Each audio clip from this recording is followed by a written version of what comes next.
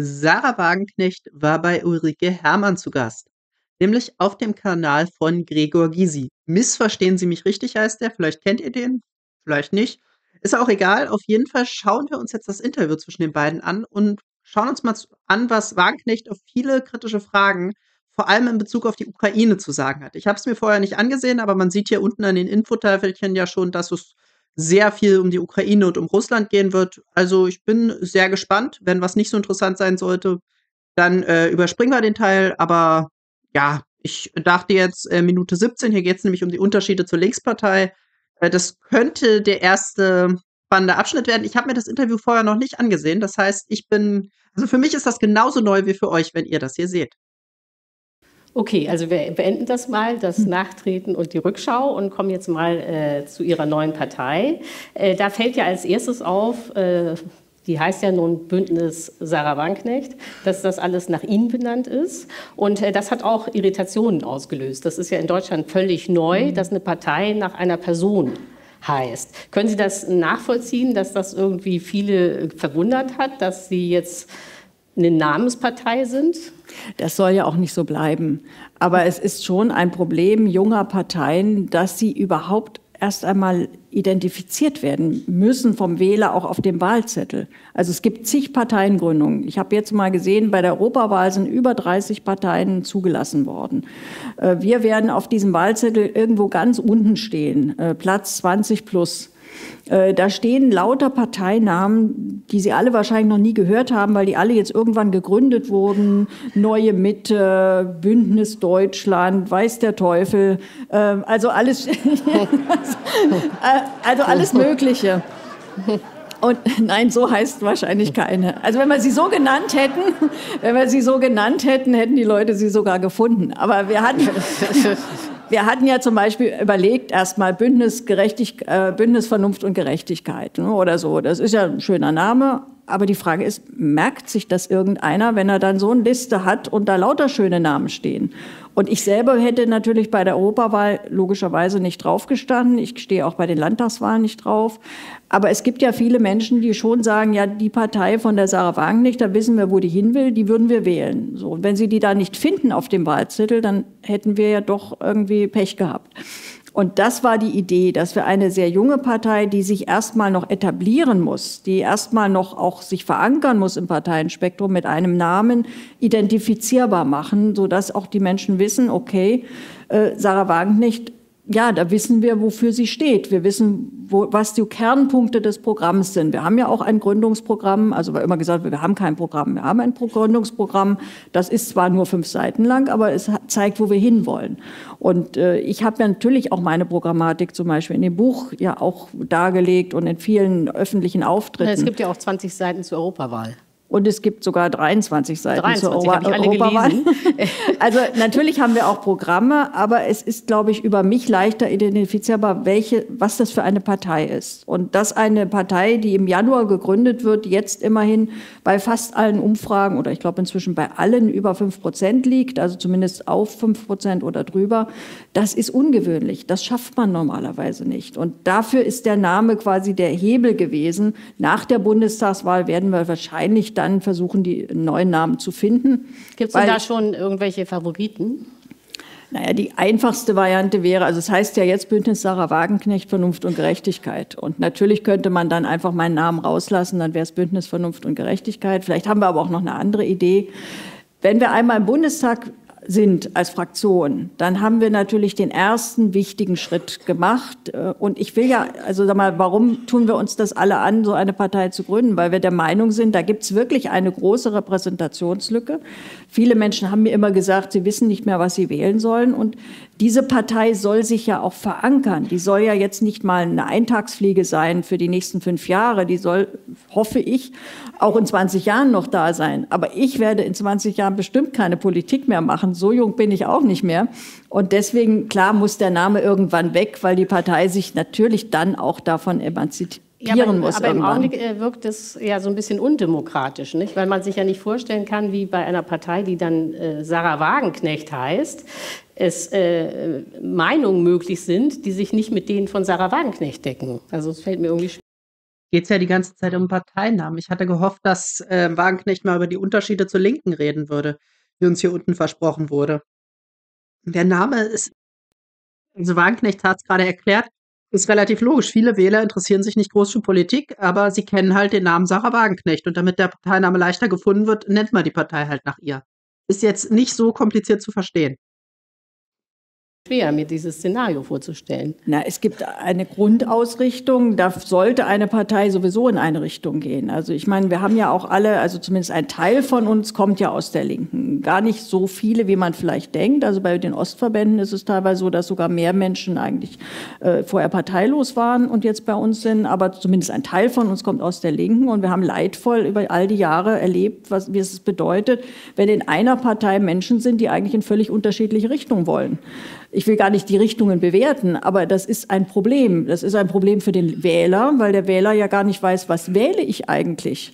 Und äh, es ist auch ein Problem für die innerparteiliche Diskussion, weil man ständig damit befasst ist, sich gegenseitig irgendwie zu bekämpfen, zu bekriegen, zu intrigieren und eigentlich nicht das macht, was, wofür Politiker da sind, nämlich für den Wählern wirklich Politik zu machen. Und deswegen will ich schon eine Partei auf den Weg bringen, wo der Wähler weiß, die will da und dahin. Und das ist schon ein Grundprogramm, ein Grundansatz, wo wir alle gemeinsam hinwollen. Und dann gibt es natürlich Nuancen, dann gibt es äh, Facetten, da, da gibt es sicherlich auch Unterschiede, aber eben nicht in der Grundausrichtung. Die sollte es auch nicht geben. Äh, Sie haben mal gesagt über diese Grundausrichtung, wir sind keine Linke 2.0.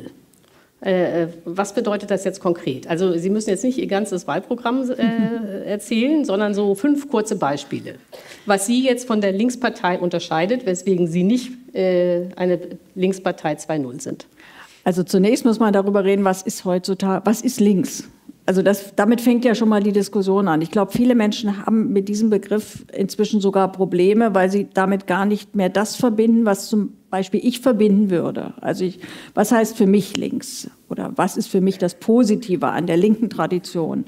Links ist für mich, dass man sich vor allem für die Menschen einsetzt, die es schwer haben, die weniger Einkommen haben, die kämpfen müssen, die aus armen Verhältnissen kommen. Man sich äh, dafür engagiert, dass diese Menschen Perspektiven haben, Aufstiegschancen, Bildungschancen, bessere Löhne, bessere Renten. Okay, die Klassiker. das sagt die Linkspartei das ist links. Auch. Das ist aber immer mehr in den Hintergrund gerückt, weil man immer stärker sich auf andere Themen konzentriert hat. Also ich kann schlecht äh, für die Ärmeren mich einsetzen und gleichzeitig sagen, ich muss aber das Leben der Menschen radikal verteuern wegen des Klimaschutzes. Ich kann auch schlecht mich für die Ärmeren einsetzen und sagen, ich bin dafür offene Grenzen für alle. Jeder, der kommen möchte, kann nach Deutschland kommen und wird hier, äh, hat hier Anspruch auf soziale Leistungen, weil das natürlich sich gerade in den ärmeren Stadtbezirken dann auch auswirkt. Das erleben wir ja jetzt. Das heißt, das ist ein Widerspruch. Und äh, da hat meines Erachtens die Linke sich immer mehr von dem entfernt, was für mich links ist. Und für viele Menschen heute ist ja links eher so, das sind dann diese woken Debatten über Sprachregeln, über, ja, über all diese Sachen, die man sicherlich, wenn man viel Freizeit hat und ansonsten wenig Sorgen, auch führen kann. Aber die ich einer alleinerziehenden Mutter, die einfach Angst hat, wie kommt sie über den Monat oder wie findet sie einen Kita-Platz, äh, nicht erklären erklären kann, dass das im Mittelpunkt von Politik steht. Okay, das waren jetzt mal äh, schon mal so angedeutet äh, Themen, über die wir dann auch reden können. Äh, jetzt, bevor wir aber wirklich in die Inhalte gehen, möchte ich einen Exkurs starten, äh, nämlich äh, zu Ihrer Kleidung. Mhm. Ähm, Nein, äh, weil das kennen Sie ganz bestimmt, wenn man in Talkshows war. war ne? Leider nicht so ergiebig. Und nein, wir werden jetzt nicht über Wagenknechts Kleidung reden. ISW Spitzenkandidaten und Frauenquoten. Ah, das kann ja gut werden. Ich glaube, das überspringen wir mal. Wir kommen mal gleich zu Asyl und Zuwanderung. Ich. Ähm, so, aber kommen wir jetzt äh, zurück äh, zur Europawahl. Äh, wie gesagt, 23 äh, Seiten Programm. Ein wichtiger Punkt ist äh, in diesem Programm, dass die Asylverfahren an der EU-Außengrenze stattfinden sollen. Jetzt muss man ja mal sagen, dass dieser Punkt eigentlich ja jetzt weggefallen ist, oder? Denn genau das wurde ja gestern, also Mittwoch, im EU-Parlament bereits beschlossen.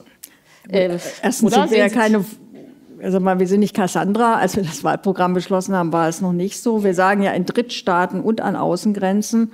Und wir müssen jetzt erstmal gucken, wie das umgesetzt wird. Also ich meine, da gibt es ja sehr unterschiedliche Konzepte. Ich finde, wir müssten tatsächlich darüber reden und also es geht ja nicht einfach nur darum, okay, wir machen das jetzt draußen, um die Leute wegzuhalten, sondern die Frage ist ja, funktioniert das europäische Asylrecht, wie wir es jetzt haben? Und da finde ich, muss man klar zu dem Ergebnis kommen, es funktioniert nicht. Wir, also Asyl soll ja ein Asylrecht, auch die Genfer Flüchtlingskonvention soll denen helfen, die schutzbedürftig sind. Die sollen, also die, die verfolgt werden oder auch die vor Krieg fliehen, die sollten Schutz bekommen. Und wir haben ein, eine, eine aktuelle Situation, die so ist, wer es irgendwie schafft, seinen Fuß auf europäischem Boden zu setzen, der wird überwiegend bleiben. Das heißt, es gibt einen ganz großen Anreiz, Schlepper zu bezahlen, wenn man sie denn bezahlen kann, um nach Europa zu kommen. Man muss dazu finanziell in der Lage sein, man muss physisch in der Lage sein, diese sehr gefährliche Reise zu machen, die ja für viele Menschen auch tödlich endet. Und wer das nicht kann, den lassen wir im Stich. Also wer herkommt, egal ob schutzbedürftig oder nicht, bleibt im Großen und Ganzen. Und wer die Schlepper nicht bezahlen kann oder eben zu schwach dafür ist, äh, weil er einfach, deswegen kommen ja mehr Männer als Frauen logischerweise und schon gar nicht Kinder äh, oder wenige, äh, der bleibt zu Hause. Und das ist ein falsches, also das hat mit dem Anliegen eines Asylrechts nichts zu tun. Und deswegen muss man versuchen, das zu verändern, indem man Asylverfahren da macht, wo auch Menschen schutzbedürftig sind, indem man äh, zum Beispiel aus Flüchtlingslagern Kontingentflüchtlinge zu uns holt, die keine Schlepper bezahlen, weil es ist ja wirklich eine Disproportionalität. Es kommen nicht die Ärmsten und es kommen oft auch nicht die aus den Kriegsgebieten. Also Nigeria ist ein Beispiel, wo man das ganz klar sehen kann. Da ist das der Norden des Landes, da ist Krieg, da ist, äh, da ist alles furchtbar. Da kommt so gut wie keiner nach Europa. Es kommen fast alle aus den relativ wohlhabenden und auch friedlichen äh, südlichen äh, Teilen des Landes, weil dort ein minimaler Wohlstand ist und der minimale Wohlstand dazu führt, dass man Schlepper bezahlen kann. Das heißt, äh, das ist nicht etwas, das ist auch für die afrikanischen Länder ein Problem, weil wir eher die Mittelschicht zu uns holen, äh, die dann auch ein bisschen besser ausgebildet ist, zumindest auch für vor Ort eigentlich Fähigkeiten hat, die vor Ort gebraucht werden. Äh, äh, Darf ich mal eine Frage stellen? Äh, wie viele Kontingentflüchtlinge würden Sie sich denn für Deutschland vorstellen?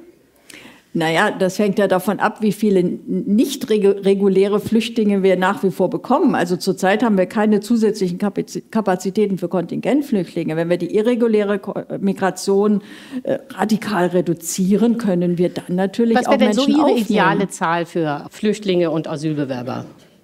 Es gibt keine abstrakte Zahl, weil wir haben jetzt einfach in den letzten Jahren viel zu viel äh, Migration gehabt. Wir sind in den ganzen äh, Infrastruktur, Wohnungen, Lehrer völlig äh, am Limit. Wenn man das jetzt mal wegnimmt, wenn man die letzten Jahre wegnimmt, kann natürlich ein Land im Jahr äh, sicherlich meinetwegen 50.000 Menschen, die kommen, äh, dann auch integri integrieren, weil das Problem ist ja, wenn die Zahlen sehr hoch sind, funktioniert auch Integration nicht mehr. Und dann entstehen Parallelgesellschaften, dann entstehen auch kulturelle Probleme. Dann vor allem in einem Land wie Deutschland, wo ohnehin schon Probleme da sind. Also uns fehlen 700.000 Wohnungen. Und äh, trotzdem geht man davon aus, wir können beliebig viele Menschen aufnehmen. Das funktioniert nicht. Das führt zu massiven Problemen, die am Ende einen einzigen Profiteur haben. Und das ist die politische Rechte, die dann natürlich bei den Stimmungen, die daraus entstehen, äh, diese Stimmungen auch bedienen und diese Stimmungen auch in Richtung Ressentiments formen. Und das spaltet die Gesellschaft. Aber Deswegen, wenn man sich glaube ich, muss so man hier dringend etwas dagegen tun. Aber wenn man sich jetzt mal so die Zahlen anguckt, nicht, dann stellt man fest, dass ja die äh, überwiegende Zahl derjenigen, die hier angekommen sind, sind Ukrainer. Nicht? Also Stand 16. In, März 2024. Ja, genau. Jetzt haben wir eine Million 149.951 Ukrainer in Deutschland. Ja, das ist die neueste Zahl. Würden Sie sagen, dass es richtig war, die aufzunehmen? Also wer aus der Ukraine kommt, vor allen Dingen auch aus dem östlichen Teil, wo der Krieg tobt, der, der flieht aus einem Kriegsgebiet, selbstverständlich. Und ich verstehe auch jeden jungen Mann, der versucht, die Ukraine zu verlassen, damit er dort nicht zum Kriegsdienst eingezogen wird. Und da in diesem Vor Ja, und da, das ist ein ganz wichtiger Punkt. Also, es wäre ja jetzt völlig irre, die Abschiebung von Leuten äh, zu fordern, die dann vom ukrainischen Regime gleich äh, an der werden, die ohne Ausbildung sich äh, russischen Gleitbomben und russischer Artillerie entgegenstellen müssen. Also das, äh, ja, ja da, also Das fordern ja wirklich nur einige komplett irre Kriegstreiber, beispielsweise von der CDU, dass diese Menschen wieder in die Ukraine zurückkehren sollen. Furchtbaren Krieg verheizt wird. Also selbstverständlich. Aber die meisten, die gekommen sind, sind Frauen und Kinder. Ja, weil die Männer auch nicht raus dürfen. Genau. Also es gibt also, schon in der Summe, also 600.000 junge Männer sind in der EU, 200.000 sind auch in Deutschland. Also gibt es ja genau, Zahlen Genau, dann sind dazu. also 900.000 sind Frauen und Kinder. Ja, und die, äh, die, sind, äh, die würden, hätten Sie immer aufgenommen. Wenn Sie aus, also mal, wenn Sie hierher kommen, weil Sie vor einem Krieg fliehen. Also es gibt ja Teile in der Westukraine, da, da gibt es schon ein starkes Hin- und Herbewegen. Das ist ein bisschen problematisch. Aber wer aus dem Krieg flieht, der muss aufgenommen werden. Aber ich, was ich uns vorwerfe oder auch der deutschen Regierung ist, dass wir viel zu wenig dafür tun, diesen Krieg zu beenden. Also ja, dazu kommen wir noch.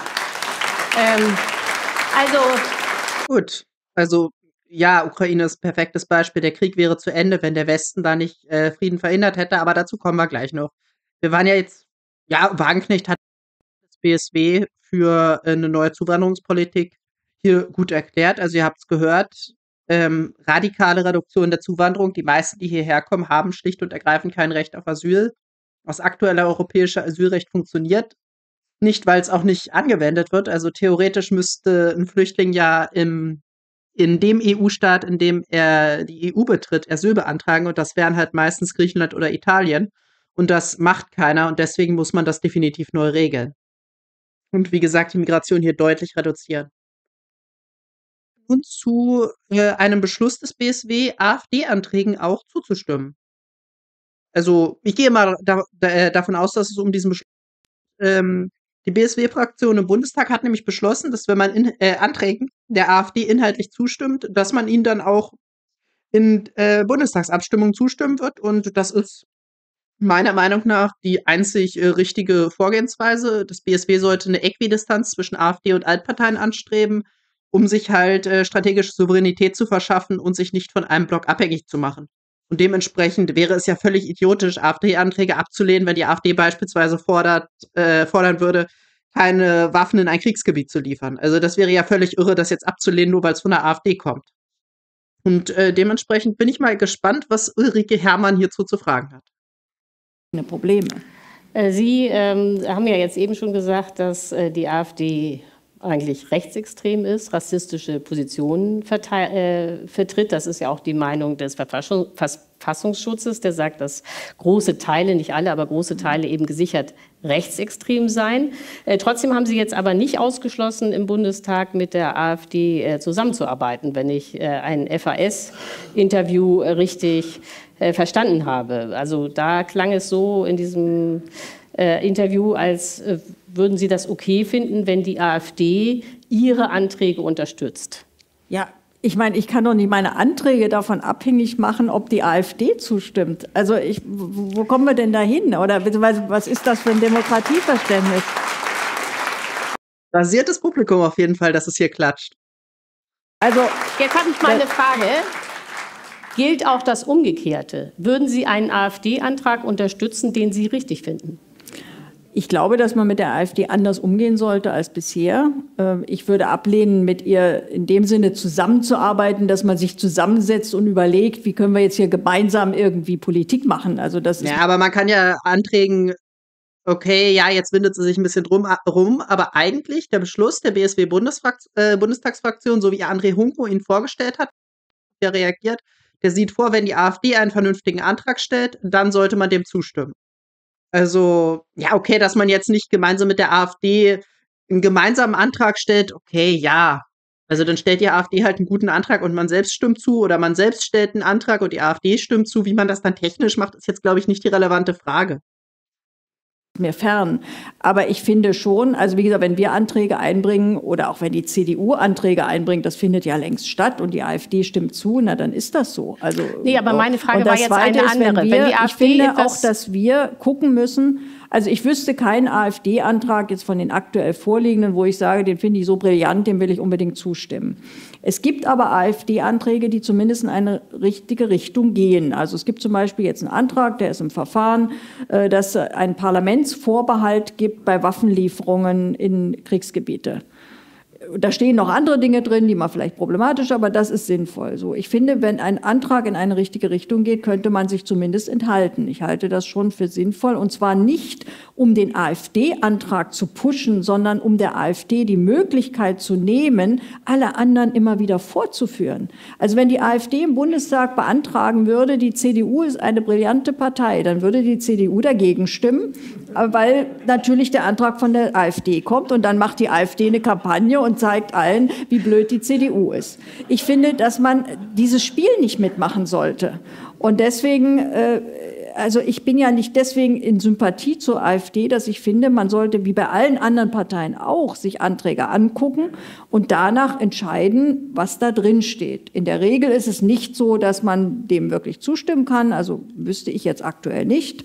Aber wenn jetzt ein Antrag zumindest von der Richtung her nicht falsch ist, finde ich nicht, dass man der AfD die Möglichkeit gibt, allen anderen äh, sozusagen alle anderen damit vor sich herzutreiben, dass sie aus Prinzip dagegen stimmen. Und wir haben solche Fälle und, auch. Ähm, zumal und zudem macht man sich abhängig von den Altparteien, wenn man sagt, wir lehnen alles, was von der AfD kommt, grundsätzlich ab. Und ja, dann hätte man ja nur die Möglichkeit, äh, Anträgen von den anderen zu stimmen. Und bei einer tendenziell immer weiter wachsenden AfD, ich meine, wir können ja davon ausgehen, dass die AfD in Zukunft deutlich stärker werden wird, wäre das strategisch einfach ein unglaublicher Schuss ins Bein. Also finde es eigentlich ein bisschen schade, wie defensiv Wagenknecht hier argumentiert. Sie ist die ganze Zeit in so einem Rechtfertigungsmodus, als müsste sie jetzt vor dem Publikum rechtfertigen, warum man AfD-Anträgen zustimmt, weil es im Bundestag in den letzten zehn Jahren so eine bescheuerte Brandmauer gab, wo die Leaks-Partei ja auch mitgemacht hat. Also, ich glaube, BSW-Politiker müssen mehr aus diesem Rechtfertigungsmodus rauskommen. Also solch evident sinnvolle Sachen wie einfach Anträgen zuzustimmen, denen man auch inhaltlich zustimmt, äh, so etwas braucht man nicht äh, stundenlang verargumentieren. Also da kann man einfach sagen, wir, äh, wenn der Antrag unser Land voranbringt, stimmen wir halt zu, weil wir inhaltlich dafür sind. Punkt. Und ähm, Parlamentsvorbehalt bei Waffenlieferungen, das ist auf jeden Fall sehr, sehr sinnvoll. Also der, ähm, das Beispiel hat der André Hunko auch gebracht. Also sehe ich absolut keinen Grund, warum man hier kategorisch äh, Anträge ablehnen sollte. Landesparlamenten gehabt. Ich weiß ähm, Danke an Seppi TV, dass du ein Abonnement verschenkt hast. Gott, ich muss mal ein bisschen mehr auf den Chat achten. Vorpommern erinnere ich mich, da ging es um die Schließung eines Krankenhauses. Die AfD beantragt, dass das Krankenhaus nicht geschlossen wird.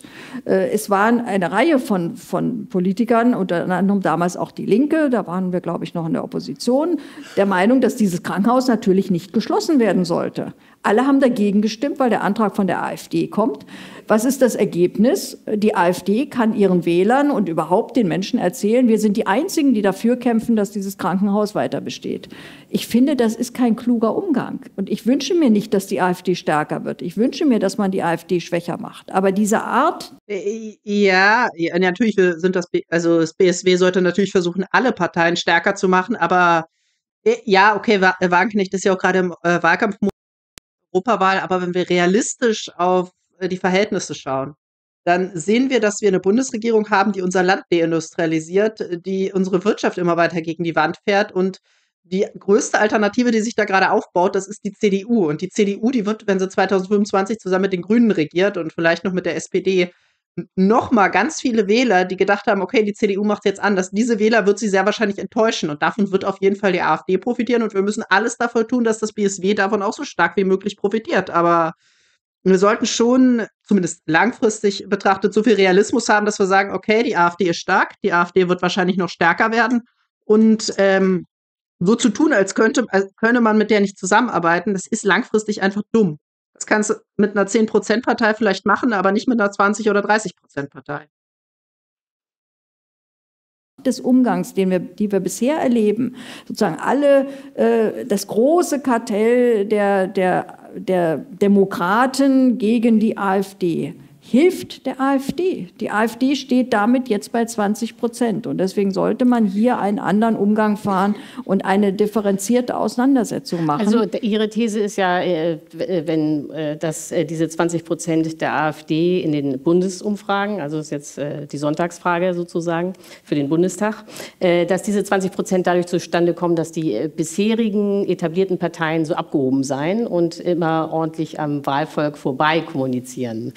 Ja, nicht nur kommunizieren, vor allen Dingen am Wahlvolk vorbei regieren. Also es sind ja ganz konkrete Auswirkungen ihrer Politik, die für die Menschen ja wirklich nachteilig sind. Die Leute sind, äh, sind sauer, die sind frustriert.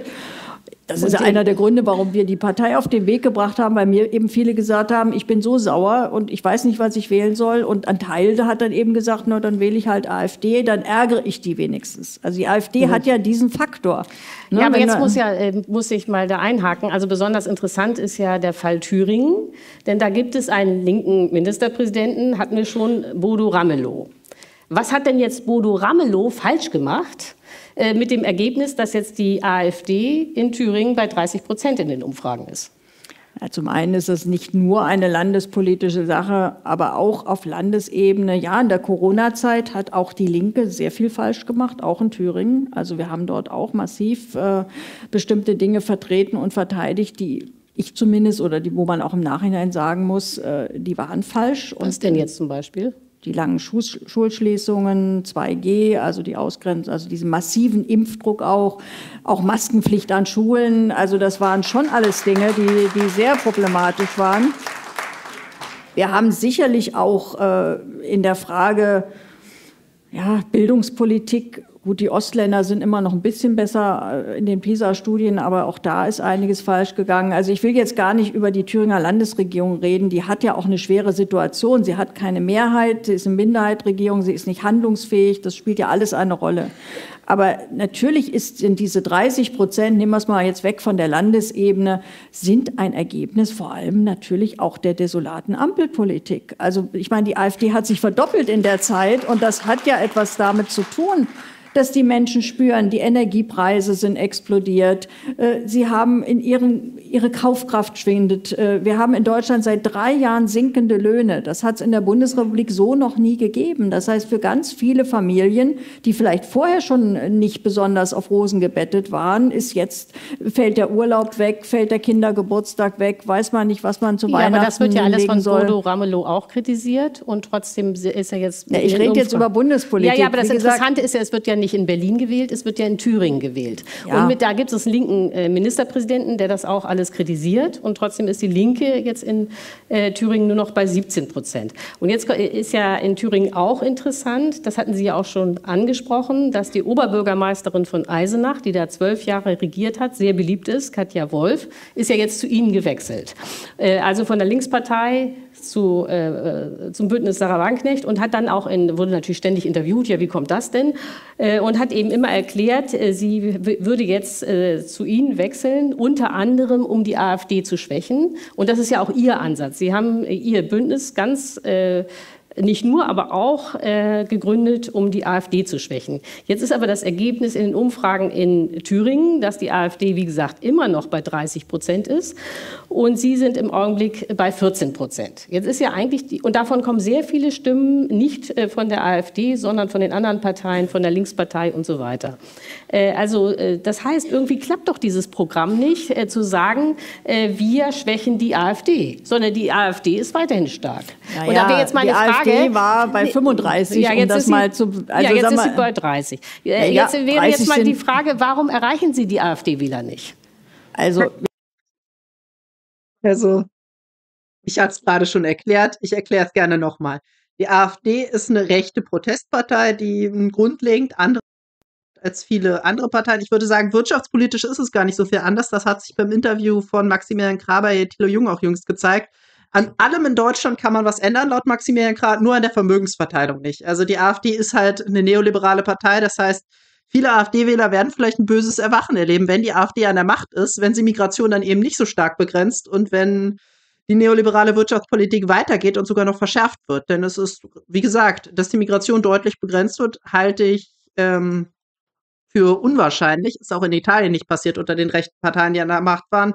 Und ja, was sehr viel wahrscheinlicher ist, ist, dass gegen deutsche Arbeitslose und Arme härter vorgegangen wird. Das ist in Italien nämlich passiert. Da hat man Italiener nämlich einfach das Bürgergeld, eine Sozialleistung, die von der Fünf-Sterne-Bewegung und der Lega vorher erst eingeführt worden war, wieder komplett gestrichen.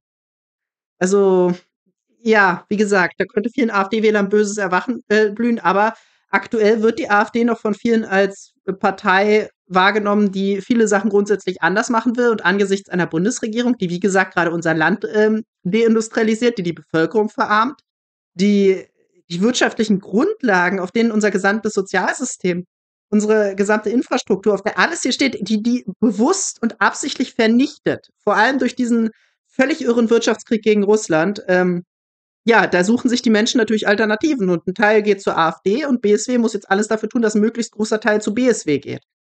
Also wird, halte ich es für sinnvoller, eher Wähler der Altparteien zu überzeugen. Denn man muss es mal so sehen. Selbst in den ostdeutschen Bundesländern, wo die AfD bei 30 Prozent steht, wählen ja immer noch äh, 70 Prozent der Leute nicht AfD. Das heißt, der Pool von Leuten, die nicht AfD wählen, der ist wesentlich größer als äh, der Pool von Leuten, die AfD wählen.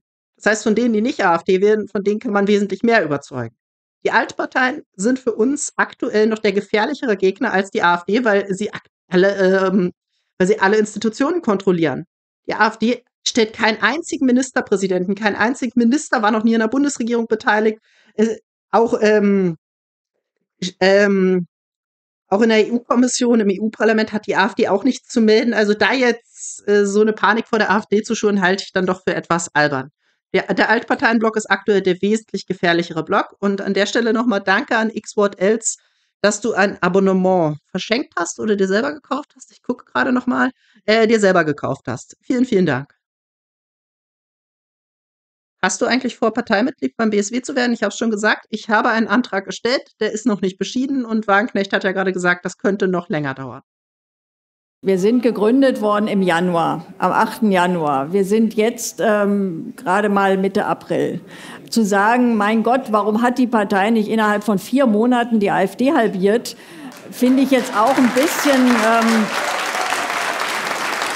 also da kommen doch viele, da kommen doch auch viele Faktoren zusammen. Also Wähler sind ja jetzt auch nicht so. Also zum einen kann man schon sehen, dass es da eine gewisse Wählerwanderung gibt. Also die gibt es tatsächlich von der AfD, es gibt sie auch von anderen Parteien. Aber wie gesagt, wir, wir, kommen ja jetzt in ein Feld rein, was die AfD seit Jahren bestellt. Also im Bundestag ist die AfD als Fraktion vorhanden mit einer ganz anderen Möglichkeit, parlamentarisch zu agieren. Also wir haben zurzeit das Problem, dass wir, wenn wir einen Antrag einbringen, wird der frühestens drei, äh, ja, drei Monate, glaube ich, später oder drei Wochen, also jedenfalls viel, viel später erst abgestimmt. Also wir können Dinge, die Fraktionen können, die dürfen wir alle gar nicht. Wir haben auch nicht, und das ist tatsächlich ein ganz ernstes Problem, Problem. Die AfD hat seit 2017 sehr systematisch, und da haben die wirklich gewusst, warum sie das machen, eine massive Kampagnenfähigkeit in den sozialen Medien aufgebaut. Die hat richtig viel Geld da reingesteckt, viele Ressourcen. Und die AfD ist in den sozialen Medien, also alles, was sich dort bewegt, von TikTok über Instagram, YouTube, sehr, sehr stark. Sie haben dort richtig Kapazitäten. Und ich meine, ich habe persönlich auch relativ starke Kanäle, weil ich das früher auch oder immer gepflegt habe, aber das ist nicht vergleichbar damit, dass eine Partei über viele Jahre mit viel Ressourcen, mit viel Geld okay. Social Media Kompetenz aufbaut. Also äh, dagegen muss kann man nicht aber, innerhalb ja, von trotzdem. zwei Wochen irgendwie antreten. Okay, aber trotzdem ja, nehme ich jetzt so mit, äh, dass eigentlich ihr Ziel ist, die AfD zu halbieren. Nein, unser eigentlich also dieser dieser Rechtfertig, also ich, ich weiß nicht, äh, worauf Wagenknecht sich hier eingestellt hat, aber sie muss sich ja nicht rechtfertigen. Bisher gingen die Fragen von Ulrike Herrmann noch. Ich befürchte, das wird beim Ukraine-Thema deutlich äh, kritischer werden. Aber Wagenknecht muss sich doch nicht rechtfertigen. Sie, sie erzählt wirklich nur sinnvolle Sachen. Da muss sie doch nicht noch dreimal erklären, warum das jetzt, äh, warum das jetzt doch sinnvoll ist und warum die AfD doch irgendwie ein Gegner ist. Hm. Weiß ich nicht. Also Okay, ist das Interview länger, wenn Wagenknecht länger redet, kann Hermann weniger Fragen stellen. Vielleicht liegt es auch daran. Vielleicht ist das so ein rhetorischer Trick. Ich weiß es nicht. Aber dieses ständige nochmal extra rechtfertigen, warum man das gerade tut, was man tut, anstatt einfach den Grund zu nennen und dann nicht nochmal hinterher zu schieben, äh, ja, aber wir wollen die AfD ja noch bekämpfen. Ja, finde ich, finde ich rhetorisch nicht so glücklich. Ziel ist, die Politik in Deutschland zu verbessern. Das andere ist ein Nebeneffekt. eine gute Antwort. Kaum kritisiere ich sie direkt danach. Äh, das war eine basierte Antwort. Also genau das hätte sie vorher auch schon die ganze Zeit sagen können. Unser Hauptziel ist nicht die Bekämpfung der AfD, unser Hauptziel ist, dass in Deutschland eine andere Politik gemacht wird. Und wenn man jetzt aus strategischer Sicht drauf sieht, dann ist der Altparteienblock gerade doch der wesentlich mächtigere Gegner, der eine vernünftige Politik verhindert, im Gegensatz zur AfD.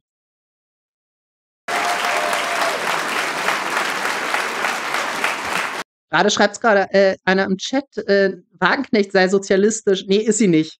Also da äh, beschreibst du vielleicht die Wagenknecht von vor 15 Jahren, aber äh, ihre Auftritte auf ihrem YouTube-Kanal angucken, kannst dir angucken, was sie sonst so erzählt. Die ist ähm, ja sozialliberal, könnte man das beschreiben, oder eine Sozialdemokratin. Also sie wäre wahrscheinlich äh, in der FDP-SPD-Koalition aus den 70er Jahren gut aufgehoben gewesen, von ihren wirtschaftspolitischen ähm, Positionen her. Also ähm, äh, ihre, äh, also Ihre Analyse war ja äh, bisher, äh, dass Sie gesagt haben, ja, also ein wichtiges Thema, äh, das dann auch die Leute zur AfD treibt, ist eben äh, die Migration und die fehlende Integration und so weiter. Jetzt ist ja aber besonders auffällig, auch keine neue Erkenntnis, dass die AfD besonders stark ist in Gegenden, wo es kaum Migranten gibt. also ländliche Gebiete. Auch das ist relativ leicht erklärt. Die Leute sehen die Verhältnisse in Berlin oder im Ruhrgebiet und denken, oh Gott, hier in der sächsischen Provinz ist es ja noch ganz schön. Ich will nicht, dass es so wird. Also das kann man doch total einfach erklären. Die Menschen sehen die negativen Folgen der Migration in anderen Regionen und entsprechend ähm, versuchen sie dann das zu verteidigen, was ihnen an ihrer Heimat lieb und teuer ist. Ähm, und Caliban fragt gerade im Chat, ordoliberal? Ja, ja, sie lobt auch einige Punkte der Ordoliberalen. Aber ähm, das Programm ist größtenteils sozialdemokratisch. Also das ist ähm, also vor allem stärkeres Kartellrecht, vor allem Stärkung von Wettbewerb, Zerschlagung von Großunternehmen. Das hat sie von den Ordoliberalen übernommen tatsächlich. Aber ist, äh, ihr Programm ist sonst sehr sozialdemokratisch. Also die Ordo, der Ordoliberalismus war die deutsche Variante des Neoliberalismus und die Ordoliberalen, die waren im Gegensatz zu anderen Neoliberalen der Meinung, dass es staatliche Institutionen brauche, um Wettbewerb sicherzustellen, beispielsweise das Bundeskartellamt.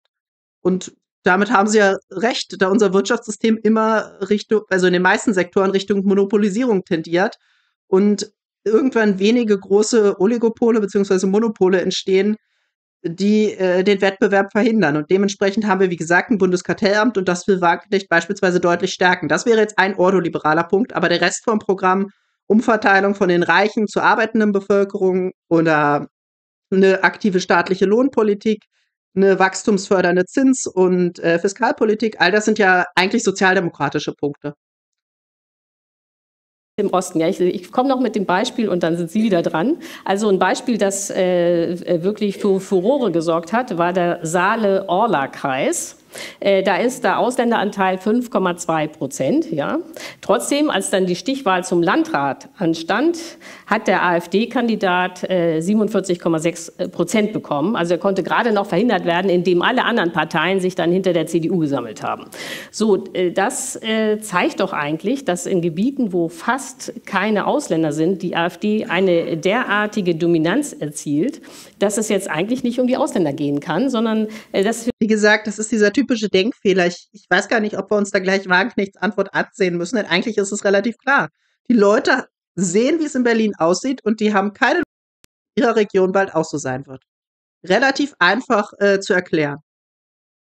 Vielleicht dann tatsächlich sowas doch eine Rolle spielt wie Rassismus. Also dass, äh, die, die, äh, dass den Wählern tatsächlich aufgefallen ist, dass in Thüringen Höcke ähm, eine Art ähm, Ariatum vertritt. Das ist, äh, macht er ja nun schon seit Jahren. Das weiß ja jeder und sie wählen dann trotzdem die AfD. Das ja, muss, äh, das, äh, das, und obwohl da gar keine Ausländer sind, das muss doch irgendwie eine andere Erklärung haben, als zu sagen, es sind zu viele Migranten im Land. Es ist ja auch nicht das einzige Thema, mit dem die AfD mobilisiert. Die AfD hat zum Beispiel in der Corona-Zeit sehr stark ihr, ihr, ihr Renommee ausgebaut, weil sie die einzige war, die bestimmte Dinge kritisiert hat. Die AfD hat eine Position zum Ukraine-Krieg. Das hat sicherlich auch im im Osten viele Leute auch erreicht. Und es ist natürlich auch dieser, dieses generelle, also dieses, die, der Eindruck der Menschen, und der ist ja berechtigt, dass in Berlin Leute regieren, die von irgendwelchen Ideologien getrieben werden, aber wenig Kompetenz und wenig Fähigkeit haben, Dinge umzusetzen und ihr Leben zu verbessern. Okay, Wagenknecht sagt jetzt, dass es noch andere Themen als Migration gäbe und da hat sie sicherlich recht, natürlich, natürlich, aber ähm, Im Chat schreibt gerade Caliban, bin selbst Gast und denk, äh, Gastarbeiterkind und denke über Migration auch so. Ich kann ähm, mir Essen und Wuppertal sowie Duisburg nicht mehr geben. Ja, das, äh, das meine ich ja. Also Zustände in deutschen Großstädten, der Anstieg der Kriminalität, das, ähm, die immer stärkere soziale Polar Polarisierung, all das wird durch Migration natürlich massiv verstärkt. Also das, äh, man muss ja wirklich die Augen vor der Realität verschließen, um das zu leugnen.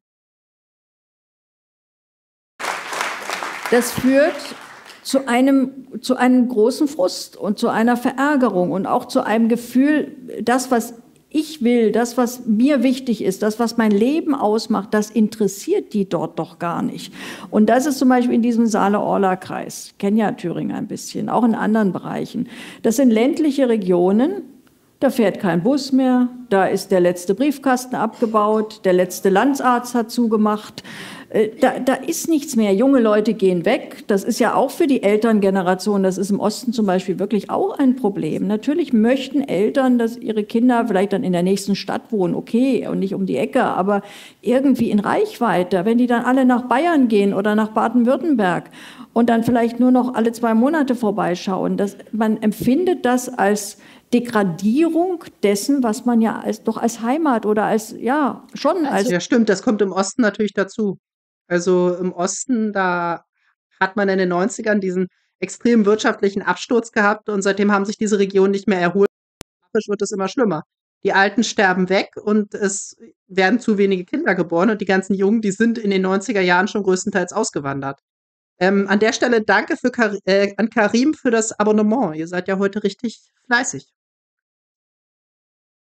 Als sein Zuhause ansieht. Seine also ich, äh, das kann ich nochmal dazu sagen, ich komme ja selber aus einer eher ländlichen Region und da hat man eher keine Probleme mit Zuwanderung. Deswegen ist da schon die Differenz in einigen westdeutschen Großstädten schon sehr krass, wenn man sich das ansieht.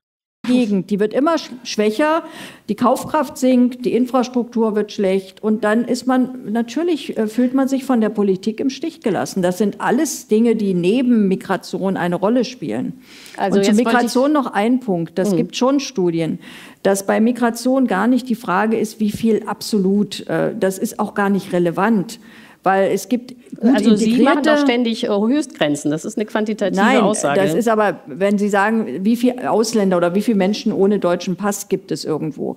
Das sind ja ganz unterschiedliche Menschen. Das sind Menschen, die sind gut integriert, die gehen normaler Arbeit nach. Äh, das ist da überhaupt nicht die Frage, sondern äh, das, was tatsächlich relevant ist, ist die Veränderung der Zahl. Wenn die Veränderung sehr schnell nach oben geht, dann scheitert meistens auch Integration und dann entstehen Probleme. Also die absolute Zahl, ich meine im Ruhrgebiet oder in Nordrhein-Westfalen, es gibt viele Bereiche, da ist von vornherein eine hohe Zahl, aber ein erheblicher Teil davon ist gut integriert. Und dann gibt es Bereiche und auch Viertel, wo sich die Probleme ballen. Und das ist mit den absoluten Zahlen überhaupt nicht erklärbar. Also das ist, ich meine, auch in Prenzlauer Berg gibt es genügend Menschen, die, die keinen deutschen Pass haben, aber das ist dann vielleicht der IT-Spezialist und der Arzt und das ist ja eine ganz andere Art äh, von Migration. Und da entstehen dann auch natürlich äh, nicht diese Probleme. Also deswegen ist diese absolute Zahl relativ wenig aussagekräftig. Okay, Aber es sind eben auch die anderen Probleme, die mindestens genauso wichtig sind. Migration ist nur eins davon. Ja, also Sie hatten ja gerade gesagt, also, dass Thüringen ganz äh, dramatisch darunter leidet, dass alle weggehen. Äh, da muss ich jetzt mal sagen, das stimmt nicht mehr. Der, äh, der Wanderungssaldo von Thüringen ist ausgeglichen. Es gehen genau. Das stimmt nicht mehr. Das ist ja wunderbar. Ich habe es gerade gesagt, in den 90ern sind alle Le jungen Leute abgehauen. Die Geburtenrate ist kollabiert. Und jetzt kommen natürlich viel zu wenige junge Leute ob die jetzt einen ausgeglichenen Wanderungssaldo haben oder nicht, die Bevölkerung schrumpft trotzdem enorm viel stärker als in Westdeutschland. Selbst bei einem ausgeglichenen Wanderungssaldo. Also, ja, das ist eigentlich ziemlich leicht erklärt. Genauso viele. An der Stelle nochmal danke an Seppi, dass du ein Abonnement verschenkt hast weg wie kommen. Aber in die Städte. Ja, also aber Erfurt, ich meine jetzt, ja, aber, aber naja, Erfurt das sind ist da aber jetzt die, nicht die so weit weg. Ja, also wenn ich jetzt äh, rechtsextrem wählen muss in Thüringen, weil mein Kind nach Erfurt zieht, ne? Nein, das so kind, groß ist jetzt Thüringen aber nicht, äh, dann ist das ja erschütternd.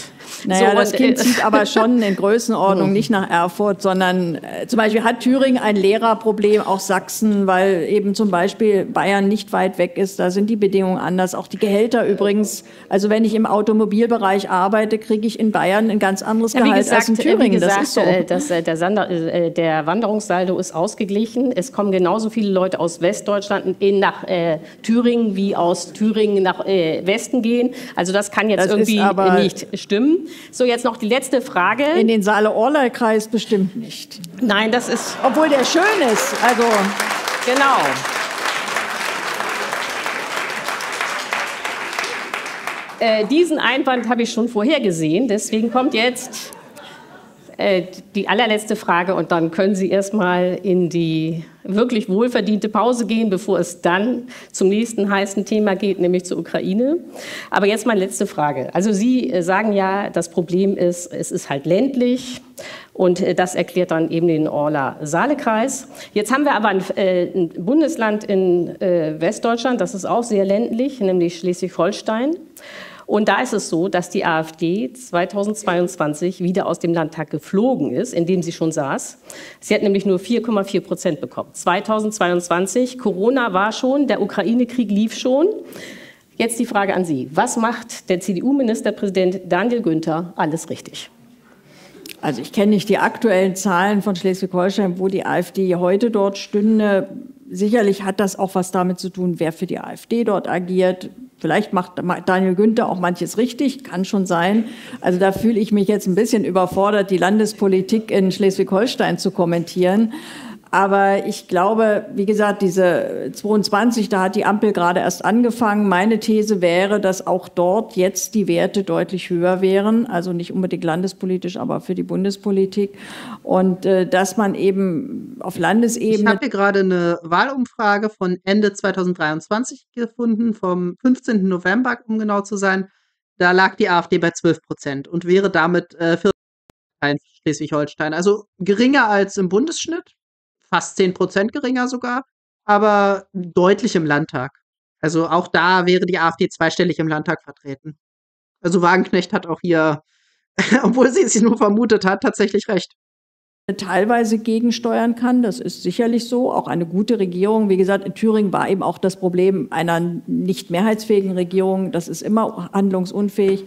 Äh, das kann man schon auf Landesebene etwas kompensieren. Aber am Ende geht es ja schon darum, dass wir einfach in, auf Bundesebene eine andere Regierung brauchen und dass die Menschen einfach auch erwarten können, in einer Situation, wo es weltweit viele Krisen gibt, wo auch sicher vieles schwierig ist, dass sie eine Regierung haben, wo sie das Vertrauen haben, dass sie versucht, sie gut durch diese Krisen zu navigieren und dass sie nicht zu all den objektiven Problemen, die es ja auch gibt, noch ganz viele zusätzliche Probleme schafft, weil sie einfach nicht in der Lage ist, äh, eine vernünftige Politik zu machen. Und dass also, das da schon für unser Land Schaden anrichtet, das glaube ich ist noch eindeutig ganz kurz so. eine letzte Frage stellen. Also Sie haben ja noch mal gesagt, also eigentlich ist das Problem die Bundesregierung, die muss abgelöst werden. Deswegen jetzt die Frage an Sie werden Sie als Bundeskanzlerin kandidieren?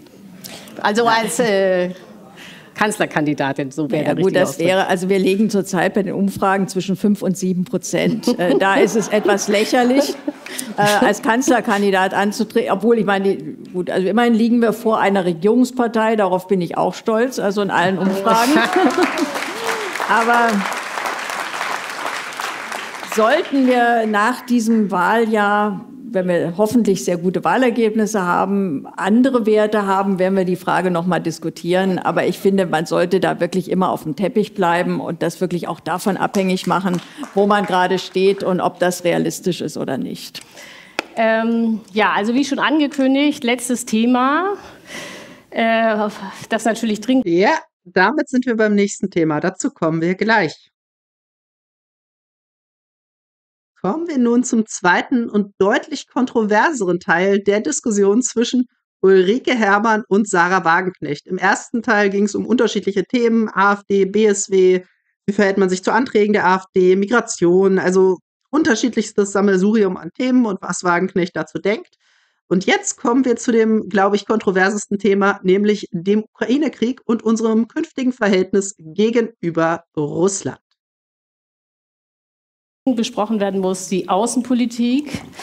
Ähm, und auch da sind sich ja AfD und BSW sehr einig, es, äh, wenn es darum geht, den russischen Angriffskrieg in der Ukraine zu deuten. Also vielleicht, äh, um alles vor, vorab schon mal juristisch äh, zu klären. Sie sind ja auch der Meinung, dass der russische Angriff ein völkerrechtswidriger Angriffskrieg war. Ne? Ja, selbstverständlich. Wenn man ein anderes Land überfällt, äh, dann ist das ein völkerrechtswidriger Angriffskrieg. Ich finde nur erstaunlich, dass ausschließlich bei diesem Krieg das immer betont wird. Also auch der Irakkrieg, auch der, der Krieg in Afghanistan, auch der Krieg in Libyen, das waren alles völkerrechtswidrige Kriege. Und ich mag das Publikum. Das muss ich an der Stelle mal ganz ausdrücklich sagen. Ähm,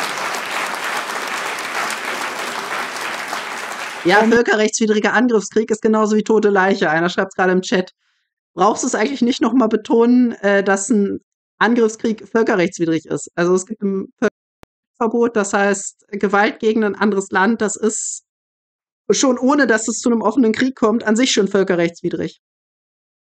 Außer, wie gesagt, außer zur Landesverteidigung. Also wenn du von einem anderen Land angegriffen wirst. Um das deutlich zu sagen, das macht diesen Krieg nicht harmloser. Aber ich finde diese Einseitigkeit, auch diese moralische Empörung, die ich dann bei Frau Baerbock oder woanders erlebe, die hätte ich mir bei anderen Kriegen auch gewünscht. Jetzt ähm, bleiben wir einfach mal äh, bei der Ukraine. Ähm, äh, das muss ja kommen, obwohl Sie das ja schon ganz oft gehört haben. Äh, also im Februar 2022 waren Sie vier Tage vor dem Überfall äh, auf die Ukraine, waren Sie ja noch bei Anne Will und haben da eigentlich mehr oder minder äh, deutlich gesagt, äh, äh, dass Putin nicht angreifen würde und haben da wörtlich gesagt, ein russischer Einmarsch wird von amerikanischer Seite, amerikanischer Seite herbeigeredet und der Wunsch, nämlich ein Angriff, ist der Vater äh, des Gedankens. Also man muss wirklich sagen, Sie sind davon ausgegangen, dass Putin nicht angreift. Ganz so stimmt es nicht. Also ich habe nicht gedacht, das stimmt, da habe ich mich geirrt, dass der Angriff so direkt bevorsteht. Äh, ich hatte tatsächlich gedacht, dass diese Truppenzusammenziehung, dass das eher so eine Drohgebärde war, um etwas zu erreichen. Mit diesem Irrtum war ich, glaube ich, nicht ganz alleine. Aber ich habe trotzdem auch in der Sendung übrigens und auch in anderen Sendungen damals sehr deutlich gemacht, dass ich schon dort eine Kriegsgefahr heraufziehen sehe. Weil die Russen haben ja sehr, sehr deutlich gesagt, dass sie äh, es nicht akzeptieren wollen, dass sie auch nicht akzeptieren werden, dass die Ukraine Teil der militärischen Einflusszone der USA wird, mit Militärbasen, Raketenbasen, äh, Geheimdienststützpunkten. Und es gab ja schon damals, es gab 4000 NATO-Soldaten in der Ukraine, es gab gemeinsame Manöver und die Russen haben immer wieder moniert und haben gesagt, nein, also wenn das so weitergeht, äh, äh dann werden wir dort intervenieren. Ich sage nicht, dass ich das legitim finde. Ich finde das generell nicht legitim, irgendein Problem mit Krieg zu lösen. Ich verurteile Kriege, und zwar jede Art von Krieg. Aber man hätte trotzdem man hätte meines Erachtens äh, auf diese russischen ähm, Warnungen oder Ansagen reagieren müssen. Und ich habe damals gesagt, wenn man diese NATO-Integration der Ukraine weiter betreibt, dann wird es Krieg geben. Das habe ich damals gesagt. Ich habe nur nicht gedacht, das habe ich tatsächlich nicht, dass wir vier Tage vor Kriegsbeginn stehen. Also was Sie in der Sendung gesagt haben, das stimmt, ist, äh, dass äh, äh Sie sich vorstellen können, dass äh, im Notfall irgendwann lange hin äh, Putin mit militärischen Mitteln äh, diesen, äh, eingreifen würde in der Ukraine, um eben zu verhindern, dass äh, die Ukraine irgendwann Mitglied der NATO wird. Jetzt ist es aber so, dass man ja damit das Gefühl hat, dass sie die Erzählungen von Putin einfach übernehmen. Also Putin oh hat. Gott, also Wagenknecht, ich hatte gerade schon überlegt, ob ich bei Wagenknecht äh, kurz unterbreche und sage, ach, die drückt sich ja schon wieder so vorsichtig aus. Aber ihr, ihr seht es hier, es ist egal, wie vorsichtig es ist egal, wie klar man sagt, dass man Krieg ablehnt, dass man das moralisch verurteilt, dass eigentlich eine Selbstverständlichkeit ist, was man gar nicht extra erwähnen bräuchte. Es ist völlig egal, wie gemäßigt ihr euch ausdrückt. Wenn ihr nicht auf Linie der westlichen Propaganda seid, Putin böse, er handelt nicht rational und äh, wir müssen der Ukraine alles liefern, was sie äh, anfordert, um diesen Krieg, solange es geht, fortsetzen zu können. Wenn ihr das nicht sagt, äh, dann äh, seid ihr auf äh, Putins Linie. Also so, bescheuert ist die Diskussion in diesem Land tatsächlich. Und Ulrike Herrmann ist ja, ja, eine der Apologetinnen dieser völlig verrohten Diskussionskultur. In der Tat, bevor er äh, die Ukraine überfallen hat, immer zu erzählt, ja, da ist ja jetzt die NATO. Aber hinterher hat ja zum Beispiel der Wagner-Chef Prigoschin, kurz bevor er dann von Putin ermordet wurde, äh, in seinem Telegram-Channel äh, gesagt, äh, gesagt ähm, es ging gar nicht um. Also jetzt mal eine Detailfrage. Ist es schon bewiesen, dass Putin Prigoschin umgebracht hat? Also klar, er ist sicherlich verdächtig, aber ist das schon nachgewiesen? Oder schwurbelt sich das Hermann hier nur zurecht, dass das nachgewiesen wäre? Um die NATO, das ist immer falsch gewesen. Es, ging ein, es geht um das äh, russische Imperium. Und auch jetzt, nur um das zu beweisen, ist es ja so, dass Putin eigentlich alle russischen Truppen an der baltischen Grenze abgezogen hat, äh, weil er diese äh, Soldaten im Krieg in der Ukraine braucht. Aber er würde ja nicht die ganze baltische Grenze freiräumen, wenn er im Ernst denken würde, dass die, äh, dass die NATO jetzt vorhat, anzugreifen. Also die Frage ist ja wirklich, wie kommen Sie eigentlich darauf, dass das, was Putin erzählt, auch wahr ist? Weil der lügt doch die ganze Zeit. Ja, weil das völlig rational ist.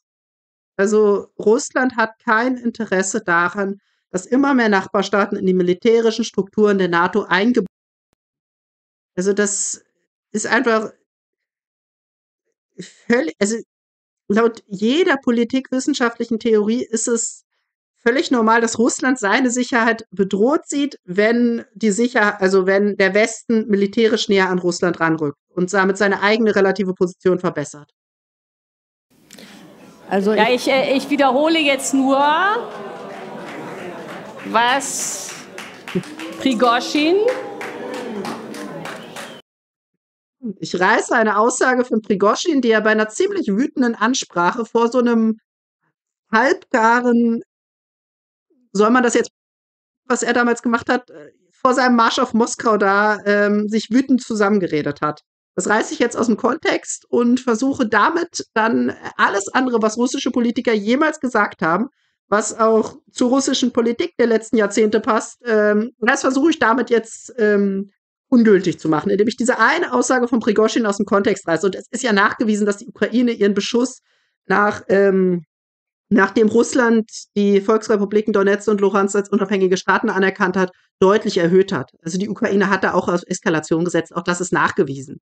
Also warum äh, Prigozhin jetzt in diesem ja, wenn du gerade so einen Putschversuch oder nennt es wie ihr wollt, was er damals vorhatte, durchführen willst, dann sagst du natürlich was, um die Stimmung aufzuheizen. Also diese eine Aussage von Prigozhin, die allem widerspricht, was russische Politiker vorher gesagt haben und die auch der Faktenlage widerspricht, die würde ich jetzt nicht zu hoch hängen. Tatsächlich. Also es gibt hat. ja es gab ja viele westliche Demo äh, Diplomaten. Es gibt zum Beispiel den heutigen Geheimdienstchef, äh, der, der, also den CIA-Chef, der war früher mal Botschafter in Moskau. Der hat vor dem Krieg immer darauf hingewiesen, Burns heißt der Mann, äh, dass äh, eine NATO-Mitgliedschaft der Ukraine und NATO heißt jetzt nicht abstrakt NATO-Mitgliedschaft, sondern es heißt amerikanische Raketenbasen, amerikanische Militärbasen, dass das für die gesamte russische Elite, nicht nur für Putin, eine knallrote Linie wäre und die die man und hat gewarnt, die zu überschreiten. Es gab andere, die das angesprochen haben. Auch übrigens der ukrainische Verhandlungsführer in Istanbul. Also in Istanbul gab es ja am Anfang des Auf Krieges. Auf Istanbul kommen wir noch. Nee, nee, nee ich will aber was nee, anderes sagen. Nee, äh, nee, wir müssen ja nicht, äh, das wird Nein, sonst aber viel, das ja? ist aber wichtig, weil es zu diesem Thema mhm. gehört. Also der ukrainische Verhandlungsführer, also die rechte Hand von Zelensky, der Fraktionsvorsitzende der Zelensky-Partei im Kiewer Parlament, der hat die Verhandlungen in Istanbul geführt für die ukrainische Seite. Seite. Und er hat wörtlich gesagt, äh, dass das NATO-Thema, also dass sie auf eine NATO, die, Russen wollten uns zwingen, auf eine NATO-Mitgliedschaft zu verzichten und dann wörtlich, das war das Wichtigste für sie. Das war das Wichtigste für sie, sagt der ukrainische Verhandlungsführer über die Verhandlungen in Istanbul. Also nun kann man sagen, der lügt auch, aber warum soll er das tun?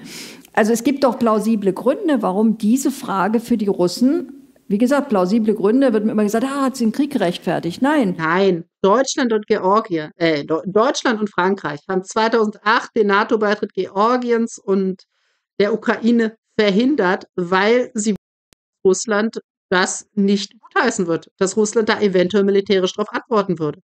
Also das war mal die Position der deutschen Bundesregierung, als sie noch nicht so einen verrückten kriegstreiberischen Kurs gegenüber Russland ähm, geführt hatte, sondern noch eher auf Ausgleich bedacht war. Ich meine, die deutsche Bundesregierung hat ja bis 2014 sich eher als Mittler zwischen Russland und den USA gesehen. Also das sollte man ja auch nicht übersehen. Und dass diese Haltung, die die deutsche Bundesregierung vor 2014 noch hatte, jetzt mittlerweile als russische Propaganda gilt, also es zeigt wirklich, wie sehr sich der Diskurs in diesem Land radikalisiert hat. Und es war ja auch die richtige Entscheidung der Bundesregierung, 2008 die Ukraine nicht mit in die NATO aufzunehmen, sonst hätte es den Ukraine-Krieg wahrscheinlich schon 2008 gegeben. Also auch damals war die russische Position vollkommen klar, wir werden darauf militärisch antworten, wenn die NATO versuchen sollte, die Ukraine in ihren Einflussbereich zu ziehen. Und das hat man dann 2014 auch getan mit der Krim-Annexion. Aber man muss ja erklären, warum es dazu kam. Die Ukraine hatte bis zum Jahr 2014 ihrer Verfassung sich verpflichtet, ein neutraler Staat zu sein. Sie war damals ein militärisch sehr schwaches Land.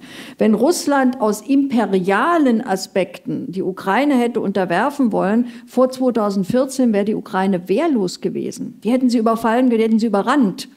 2014 war der Maidan. Danach hat die Ukraine in ihre Verfassung geschrieben, dass sie die NATO-Mitgliedschaft anstrebt. Und sie wurde dann ja auch von den USA sehr stark auch hochgerüstet. Ein klarer Bruch des äh, Budapester Memorandums übrigens.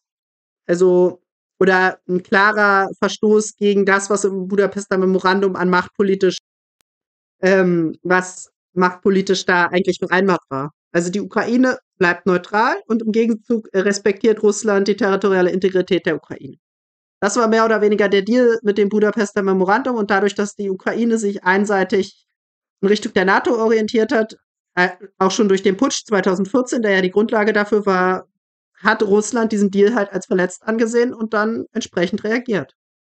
Und jetzt nachdem die NATO auch nach Krim-Annexion und nach Bürgerkrieg nicht davon abgelassen hat, die Ukraine immer weiter ins westliche Bündnis zu ziehen, hat Russland jetzt auf eine neue Eskalationsstufe geschaltet. Also das kann man alles rational erklären, was Russland da gemacht hat. Das ist nicht irrational. Also es ist nicht so, als würde die russische Regierung heute so und morgen so handeln und man könnte nicht prognostizieren, was sie tun würde.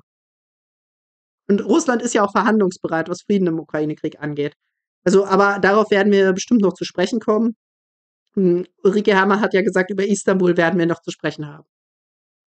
Und ab dann eskalierte dieser Konflikt, bis er dann eben im Jahr 2022 wirklich auch zu einem Krieg geführt hat. Auch, äh, sag mal, honorige Menschen, denen man wirklich nicht unterstellen wird, dass sie irgendwie äh, mit Putin unter einer Decke stecken, Klaus von Donani zum Beispiel, äh, hat immer wieder auf diesen Aspekt hingewiesen. Also viele haben das angesprochen und deswegen, ich finde das sehr plausibel, dass das die Erklärung ist und deswegen bin ich so empört, dass man nicht versucht, über diesen Punkt zu verhandeln, sondern es immer zu einer Frage der Territorien und des Nationalismus macht. Kriege sind immer auch nationalistisch über, äh, geframed. Also wenn man einen Krieg führt, entsteht natürlich auch immer auch eine nationalistische Erzählung, weil man damit die Leute äh, quasi auch motivieren will für diesen Krieg. Und in diesem Fall ist von beiden Seiten der Nationalismus natürlich im Zuge dieses Krieges extrem gestiegen. Also die Russen werden in der Ukraine als quasi nicht, also entmenschlicht, als Monster dargestellt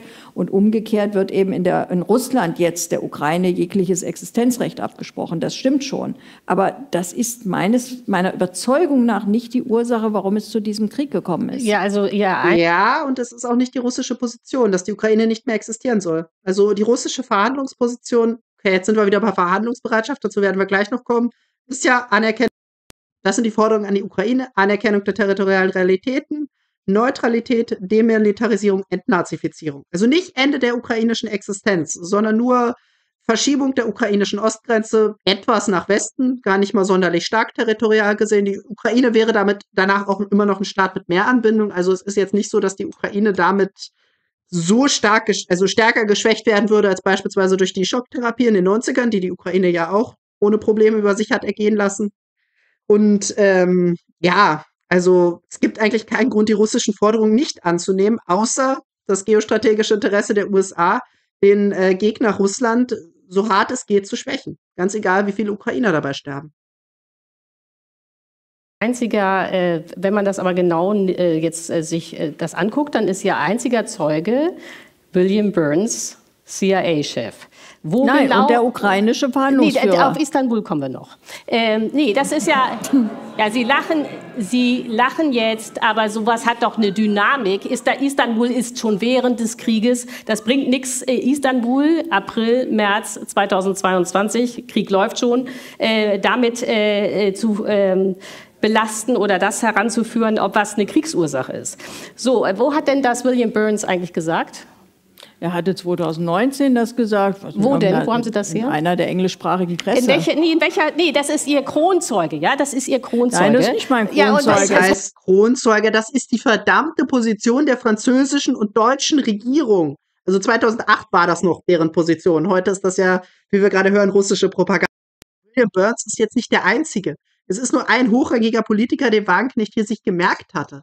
Also, dass Hermann das jetzt so hochspielt. Also, das haben zahlreiche Leute aus dem Westen gesagt. Also, wie gesagt, der Wagenknecht hatte noch Klaus von Donani genannt. Der ist jetzt nicht so relevant wie William Burns, aber trotzdem. Das ist, äh, dass Hermann das jetzt so darstellt, als wäre das irgendeine Privatmeinung. Es gibt andere. Nein. Ich, ich wüsste gerne, wo das steht, weil ich habe nämlich extra gegoogelt. Äh, William Burns, wie gesagt, ist heute also ich schicke Ihnen das gerne ja, noch das, zu. Das, wenn Sie es nee, ja, es wirklich nicht gefunden haben, suche ja, ich es. Ich habe ja, jetzt genau. nicht genau im Kopf die Quelle, aber weil, äh, weil ich nämlich ähm, dann auf der Suche war und dann habe ich was anderes gefunden. William Burns, CIA-Chef in, äh, in dem Magazin Foreign Affairs, äh, schreibt, äh, es wäre ein historischer Fehler, wenn die USA jetzt nicht 60 Milliarden äh, für die Ukraine bewilligen. Also man hatte nicht den Eindruck, als Gott. würde da. Äh, also bei, bei, Istanbul, das darf man nicht als Argument heranziehen, äh, die russischen Forderungen von da, weil die einen Monat nach Kriegsbeginn aufgestellt wurden. Aber William Burns, der sich zu einer aktuellen Debatte heutzutage äußert, also zwei Jahre nachdem dieser Krieg begonnen hat, also das hat doch nichts mit seiner Äußerung aus dem Jahr 2019 zu tun. Also Ulrike Herrmann will bei äh, den russischen Gründen für den Krieg auf den Monat genau äh, nicht, dass man beispielsweise Istanbul heranzieht, weil das ja nach Kriegsbeginn passiert sei. Aber wenn man äh, William Burns zitiert, der 2019, bevor dieser Krieg begonnen hat, gesagt hat, äh, dass das eine rote Linie für Russland sei, wenn die Ukraine in die NATO gezogen würde. Also, das ist jetzt wirklich absurd. Merkt sie nicht selber, da, da, also jetzt, jetzt mal nach ihren eigenen Standards hier. Äh, dass sie hier an, wenn Wagenknecht sich irgendwelche Zitate raussucht, dass sie da einen völlig anderen Standard dran anlegt, als durch, an die Zitate, die sie sich selbst raussucht. Also sie legt sich alles so zurecht, wie sie es gerade passt, wie es ihr gerade passt. Das ist genauso wie bei dem einen Prigozhin-Zitat. Das, wie gesagt, das widerspricht erstmal der Faktenlage. Die Ukraine hat sehr wohl ihren Beschuss gesteigert. Und das widerspricht auch allem, was ähm, alle russischen Politiker vorher gesagt haben, was Prigozhin auch vorher schon die ganze Zeit erzählt hat und auch danach wieder erzählt hat. Also das, ja. Diese eine Äußerung wird sich rausgesucht. Seht ihr hier, äh, hier hat er mal was anderes gesagt. Also das ist schon sehr, ja, eine sehr selektive Art und Weise der Faktenwahrnehmung und das ist typisch für die westliche Kriegspropaganda. Man hat keine guten Argumente, deswegen sucht man sich selektiv die Zitate heraus, die man ja am besten gebrauchen kann, um sein eigenes Narrativ durchzudrücken. Und das wirft man dann perfiderweise der Gegenseite, die viel bessere Argumente hat, vor.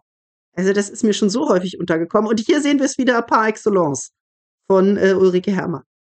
Burns irgendwie warnen, sondern ganz im Gegenteil. Er ist dafür, dass man die. Äh, aber Sie haben jetzt den jetzigen Konflikt ja, genau. in den genau. USA mit den, mit den Republikanern. Das ist aber doch etwas ja, ganz aber anderes. Aber wie gesagt, äh, was anderes habe ich von Burns nicht gefunden, außer dass er der Meinung ist, man muss die Ukraine aufrüsten.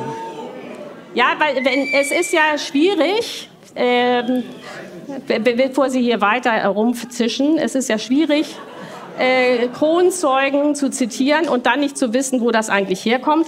Ähm, äh, so, jetzt würde ich, äh, darf ich jetzt noch eine Frage stellen, ja?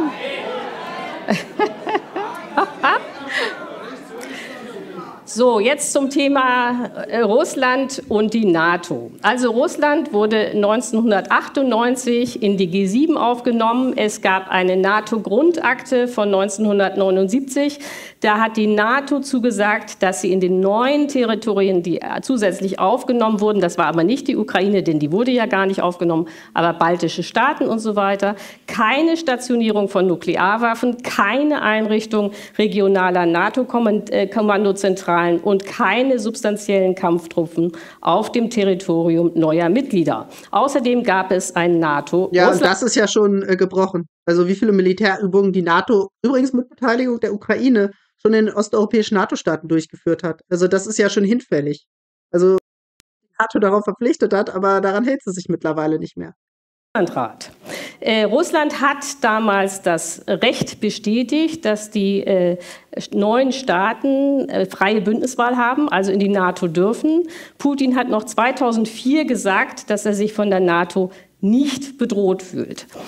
So, dann kam 2008. Georgien und die Ukraine hatten, äh, ähm, äh, nee, die Amerikaner, Bush hatte, äh, hatte die Idee, dass man die Georgien und die Ukraine aufnehmen könnte in die NATO, weil beide Länder das wollten. Das haben Frankreich und Deutschland verhindert. Äh, die äh, Ukraine hat zwar 2014 selber in ihre Verfassung geschrieben, dass sie gerne in die NATO will, die NATO hat sie aber nie aufgenommen. Äh, stattdessen, das ist ja auch ein Teil der Wahrheit, hat ja die NATO hat dort aber mitgeholfen, die Regierung wegzuputschen und anschließend wurde das Land verdeckt über die CIA und über Blackwater, was zu der Zeit schon äh, militarisiert. Also das, das ist ja, also de facto wurde die Ukraine ja NATO-Strukturen eingebunden, wenn auch noch nicht offiziell. Weil man genau wusste, dass Russland auf so eine offizielle Einbindung eben reagieren würde, wie die Krim-Annexion ja gezeigt hat. Also die Krim-Annexion war ja eine Reaktion auf den Putsch in Kiew. Deutschland seine Gasversorgung an Russland ausgeliefert. Äh, beispielsweise hat man sämtliche Gasspeicher an Gazprom verkauft. Äh, über 40 Prozent des deutschen Gases kam aus Russland und das war gewollt von den Deutschen. Die Idee war Wandel durch Verflechtung. Wenn man sein ganzes Gasnetz den Russen gibt, dann ist doch klar, das war Deut das deutsche Signal, äh, wir wollen euch nicht angreifen, denn Sie, wir sind ja energetisch von euch abhängig. Äh, dann kam 2014 die Annexion der Krim und des Donbass durch die Russen. Was macht Deutschland 2015? Nein, oh Gott, also nicht mal die Zeitleiste hat es vernünftig drauf. 2014 kam keine Annexion des Donbass. In der Ukraine entstand ein Bürgerkrieg, der anfangs auch nicht vom Kreml unterstützt, sondern von einzelnen russischen Nationalisten, die gegen den Befehl des Kreml handelten. Und ja, im Zuge dessen haben sich dann die zwei Volksrepubliken Donetsk und Luhansk äh, gegründet, die erst ab Sommer 2014 von russischen Truppen unterstützt wurden, aber nicht annektiert wurden. Also die Annexion erfolgte erst nach Beginn, ein halbes Jahr nach Beginn des Ukraine-Krieges im Herbst 2022. Nicht, äh, nicht schon 2014. Also selbst vor Beginn des Ukraine-Krieges, als man diese zwei Staaten als unabhängige Staaten anerkannt hat, hat man sie ja nicht annektiert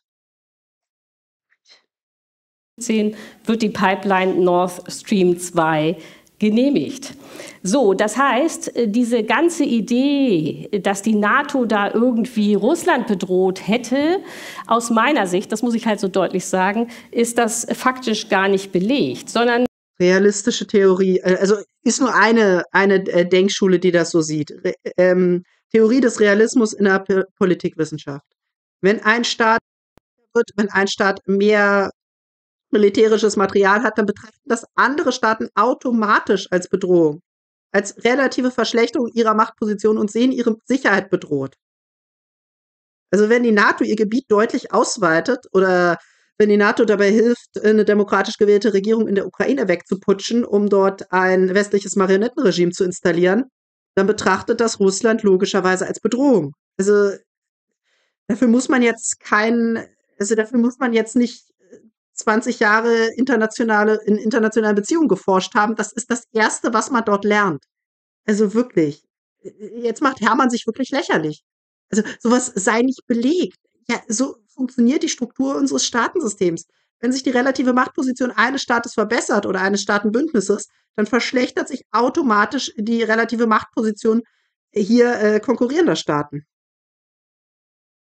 Ich würde sagen, dass es eine alternative Deutung gibt. Und das ist jetzt meine Frage. Ich musste so ein bisschen ausholen, damit Sie auch äh, verstehen, äh, wie ich äh, dazu komme. Meine alternative Deutung wäre, es geht Putin um den Machterhalt. Äh, und zwar in Russland und in seinem Imperium. Und das sozusagen bei, er hat ja immer gesagt, ich fühle mich durch die NATO nicht bedroht und er war auch nicht bedroht. Bevor, das muss man vielleicht auch noch erwähnen. Äh, die äh, Bundeswehr war so runtergespart, dass die Soldaten noch nicht mal Handschuhe hatten. Äh, so, also wie soll man denn, das war doch keine Armee, die kämpfen konnte. So, aber der, was 2014, was da passiert ist, ich glaube, das haben Sie ja auch schon angesprochen, ist, äh, es gab äh, den Euromaidan in Kiew. Die Ukrainer haben sich gewehrt gegen eine weitere Annäherung an Russland. Es gab eine Wahl, wo dann äh, ein manipulatives Framing. Also, die EU wollte mit der Ukraine ein Assoziierungsabkommen machen und dieses Abkommen hätte die Ukraine aus dem gemeinsamen ähm, Handelsmarkt, aus, dem, gemeinsam, aus der Zollunion mit Russland herausgerissen. Das wäre vollkommen klar gewesen, da Russland nicht mit billigen Waren aus Europa überschwemmt werden wollte. Und da hat die ukrainische Regierung gesagt, nee, Russland ist der wichtigere Handelspartner, mit dem wollen wir es uns nicht verscherzen. Wir, aus unseren eigenen äh, Interessen setzen wir jetzt dieses Assoziierungsabkommen erstmal aus, also die Ratifizierung dessen. Mehr hat die ukrainische Regierung nicht gesagt. Und da, Daraufhin haben pro-westliche Institutionen in der Ukraine, pro-westliche Thinktanks, Bildungseinrichtungen, die in Richtung des Westens gedreht waren, politische Parteien, die pro-westlich waren, äh, Proteste ähm, organisiert, an denen dann auch sehr schnell die radikale Rechte sich beteiligt hat und die dann letztlich ja zumindest halb militärisch entschieden wurden. Also es wurden in zahlreichen, vor allem westukrainischen Städten Rathäuser gestürmt. Ähm, auf Maidan ist es zu Schüssen und zu Dutzenden Toten gekommen. Die äh, Schütz, äh, Scharfschützen wahrscheinlich irgendwelche Söldner, die zumindest mit den äh, Kräften, Maidan-Kräften verbündet waren. Also geschossen haben sie nämlich aus dem Hotel Ukraina und aus dem Konservatorium. Das sind Gebäude, die damals von der Maidan-Protestbewegung äh, kontrolliert wurden. Und diese Schützen, die haben sowohl Demonstranten als auch Polizisten erschossen, um die Stimmung gegen Janukowitsch anzuheizen. Das war ein paar Tage, bevor er dann endgültig gestürzt wurde. Es hat funktioniert. Janukowitsch ist nach Russland geflohen. Äh, ähm, gegen ihn wurde geputscht, also auch nachdem Teile der Maidan-Bewegung, also wie gesagt, da waren fanatische Rechtsradikale mit dabei. Janukowitsch mit einem Revolutionstribunal gedroht hatten, sollte er nicht binnen 24 Stunden nach Erfolg der Revolution das Land verlassen. Also, ja, wie gesagt, es fand ein Putsch gegen Janukowitsch statt. Er hatte Grund genug, um sein äh, Leben zu fürchten und ist dann nach Russland geflohen. Und das war der Grund, warum Russland dann die Krim annektiert hat. Also, und wie, wie gesagt, also ich wollte hier nur Hermanns wirklich erbärmliches manipulatives Framing, oder es war ja schon eine Falschaussage. Also die, die, es ging ja nicht darum, die Ukraine näher an Russland zu binden, sondern ganz im Gegenteil. Die Handelsbeziehungen zwischen der Ukraine und Russland, die sich äh, gefestigt hatten, die sollten durch dieses Assoziierungsabkommen aufgebrochen und zerstört werden, was der ukrainischen Wirtschaft entsetzlichen Schaden zugefügt hätte, beziehungsweise ihr dann zugefügt hat. Ich meine, sie hat sich dann ja gen Westen gewendet und der Handel mit Russland ist zusammengebrochen. Die Ukraine ist nach 2014 korrupter und ärmer, ärmer und ungleicher geworden. Also die äh, Post-Maidan-Regime, die waren auch zwischen 2014 und 2021 ohne den äh, russischen Einmarsch in die gesamte Ukraine schon einzige Katastrophe für die ukrainische Bevölkerung. Sollte man vielleicht auch mal dazu sagen die europäisch äh, orientierten Kräfte an die Macht kamen und dann hat Putin äh, die Krim und den Donbass äh, erobert. So, das heißt, wovor er Angst hatte, war eine demokratische Ukraine, die äh, in Serialsatire. Also wirklich Respekt an Sarah Wagenknecht, dass sie da so ruhig bleiben kann. Die, okay, die hat Erfahrung mit Moderatoren, die Unsinn reden, so häufig wie sie in irgendwelchen Talkshows war. Aber Gott, also, wie gesagt, unter Beteiligung von Rechtsradikalen, unterstützt von westlichen Institutionen und Thinktanks, wird ein demokratisch gewählter Präsident weggeputscht. Und Ulrike Herrmann framet jetzt hier den Putsch gegen einen demokratisch gewählten Präsidenten als ja, Bewegung für eine demokratischere Ukraine, vor der Putin Angst habe. Nee, Putin hat einfach Angst. Also, was heißt Angst? Es ist nicht in russischem Interesse, dass die NATO sich immer mehr an Russland ranschiebt. Demokratie ist Russland dabei herzlich egal. Russland ist auch mit Armenien verbündet, was ja eine Demokratie nach westlichem Vorbild ist, was aber äh, ja sich außenpolitisch eng an Russland bindet. Russland äh, ist mit, äh, auf globaler Ebene jetzt beispielsweise mit Brasilien verbündet, auch eine Demokratie nach westlichem Vorbild. Also Russland ist völlig egal, ob seine Partner ja Demokratien oder Diktaturen sind. Russland ist wichtig, dass sie eben in russischem Interesse handeln.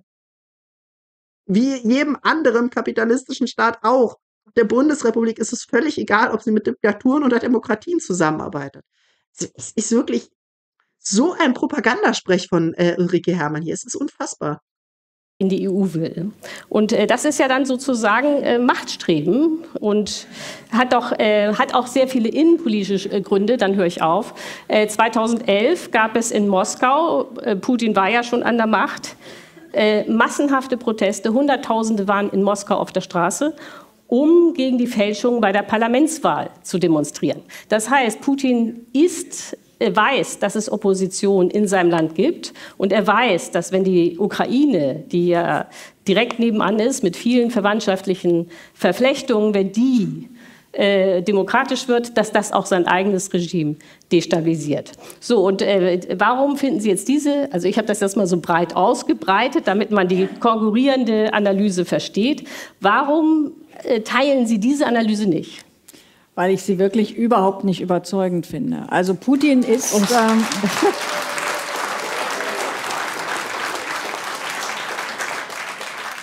um das vorab zu sagen, Putin ist ein autokratischer Machthaber. Ich habe keine Sympathie für das russische System. Nee, Darum geht es aber auch gar nicht. Mhm. Darum geht es gar nicht.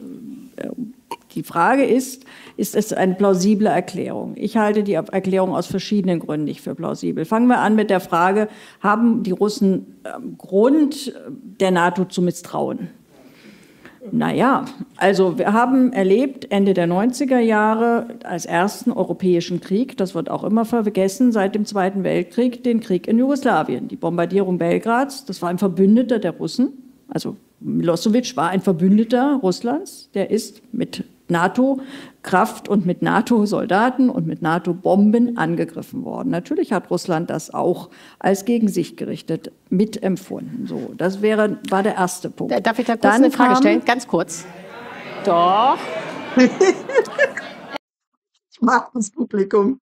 Ich habe es schon gesagt, das Publikum, das mag ich. Äh, nein, ich habe eine Frage, ja. Äh, zu, äh, jetzt nur die äh, NATO hat ja damals Serbien bombardiert, das ist richtig, weil Serbien damit beschäftigt war, in Bosnien ein äh, Massenmord. Oh Gott. Kann sie, bevor sie solche Fragen, also sie guckt ja sogar auf ihren Zettel, kann sie da nicht die wichtigsten Daten recherchieren?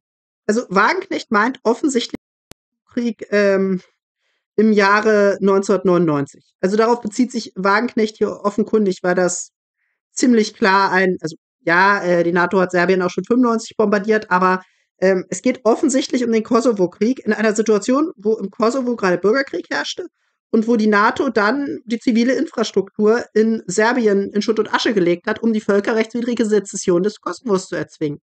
Also ganz klarer Verstoß gegen das Völkerrecht. Das manche Wagenknecht offensichtlich. Und Ulrike Herrmann lenkt jetzt davon ab oder hat sich die wie gesagt, einfach mal die Timeline nicht angeschaut und redet jetzt über einen anderen Krieg hier. Äh, anzurichten. Naja, das ja, hat das sich war, ja im Nachhinein ja, ein bisschen anders dargestellt na, also mit dem Hufeisenplan und so. Die gab es ja würden, nicht. Nee, das ist ja egal. Aber es waren schon Tausende äh, gestorben in Bosnien, hingeschlachtet. Nicht Bosnien. Wie gesagt, wir sind gerade beim Kosovo. Nicht Bosnien. Ande, andere Region. Andere Region. Von Serben. Das würden Sie jetzt bestreiten. Also ich glaube, dass es damals nicht einer bombardiert. Leugnen Sie den Völkermord von Srebrenica, der zwar jetzt nichts mit diesem Krieg zu tun hat, aber leugnen Sie den. Also wir sind hier im falschen Krieg. Ich weiß auch nicht, ob Wagenknecht das so richtig mitbekommen hat. Also sie scheint gerade noch darüber nachzudenken, das, was, äh, ja, inwieweit das, was Hermann hier gerade gesagt hat, Sinn ergibt. Sie will jetzt, glaube ich, nichts Falsches sagen, aber ich bin mir ziemlich sicher, dass Hermann sich hier gerade im falschen Krieg befindet weil sie von Bosnien spricht und Wagenknecht vom völkerrechtswidrigen Angriffskrieg Ende der 90er gesprochen hat, also Kosovo. Bedurfte, wo man sich sogar mit, damit gebrüstet hat. Also sie haben übrigens das gleiche gemacht, was Putin jetzt teilweise macht. Sie haben äh, auch Wasserversorgung, Energieversorgung bombardiert und da gibt es sogar Artikel darüber, wo die NATO dann gesagt hat, also das haben wir jetzt erreicht, jetzt haben die ein echtes Problem, kein Wasser mehr, kein Strom mehr. Also das waren schon völkerrechtswidrige Bombardements und es gab kein UNO-Mandat. Also muss man auch mal sehen, ja es war der erste Wunder, Krieg äh, ohne UNO-Mandat. So, das war aber auch nicht der einzige. Es ging dann weiter. Afghanistan, da hat Russland sogar, das war schon Putin so signalisiert, dass er das teilweise sogar mit unterstützt. Er hatte auch die, irgendwie die Hand ausgestreckt zu Bush. Also Afghanistan war auch in meinen Augen war genauso völkerrechtswidrig, hat ja auch den Menschen in Afghanistan gar nichts gebracht. Aber vielleicht war das, und zwar im Gegenteil, also Tod und, und, und, und auch viel Zerstörung und jetzt äh, wieder regierende Taliban. Aber nehmen wir mal Afghanistan weg, gehen wir zum Irak.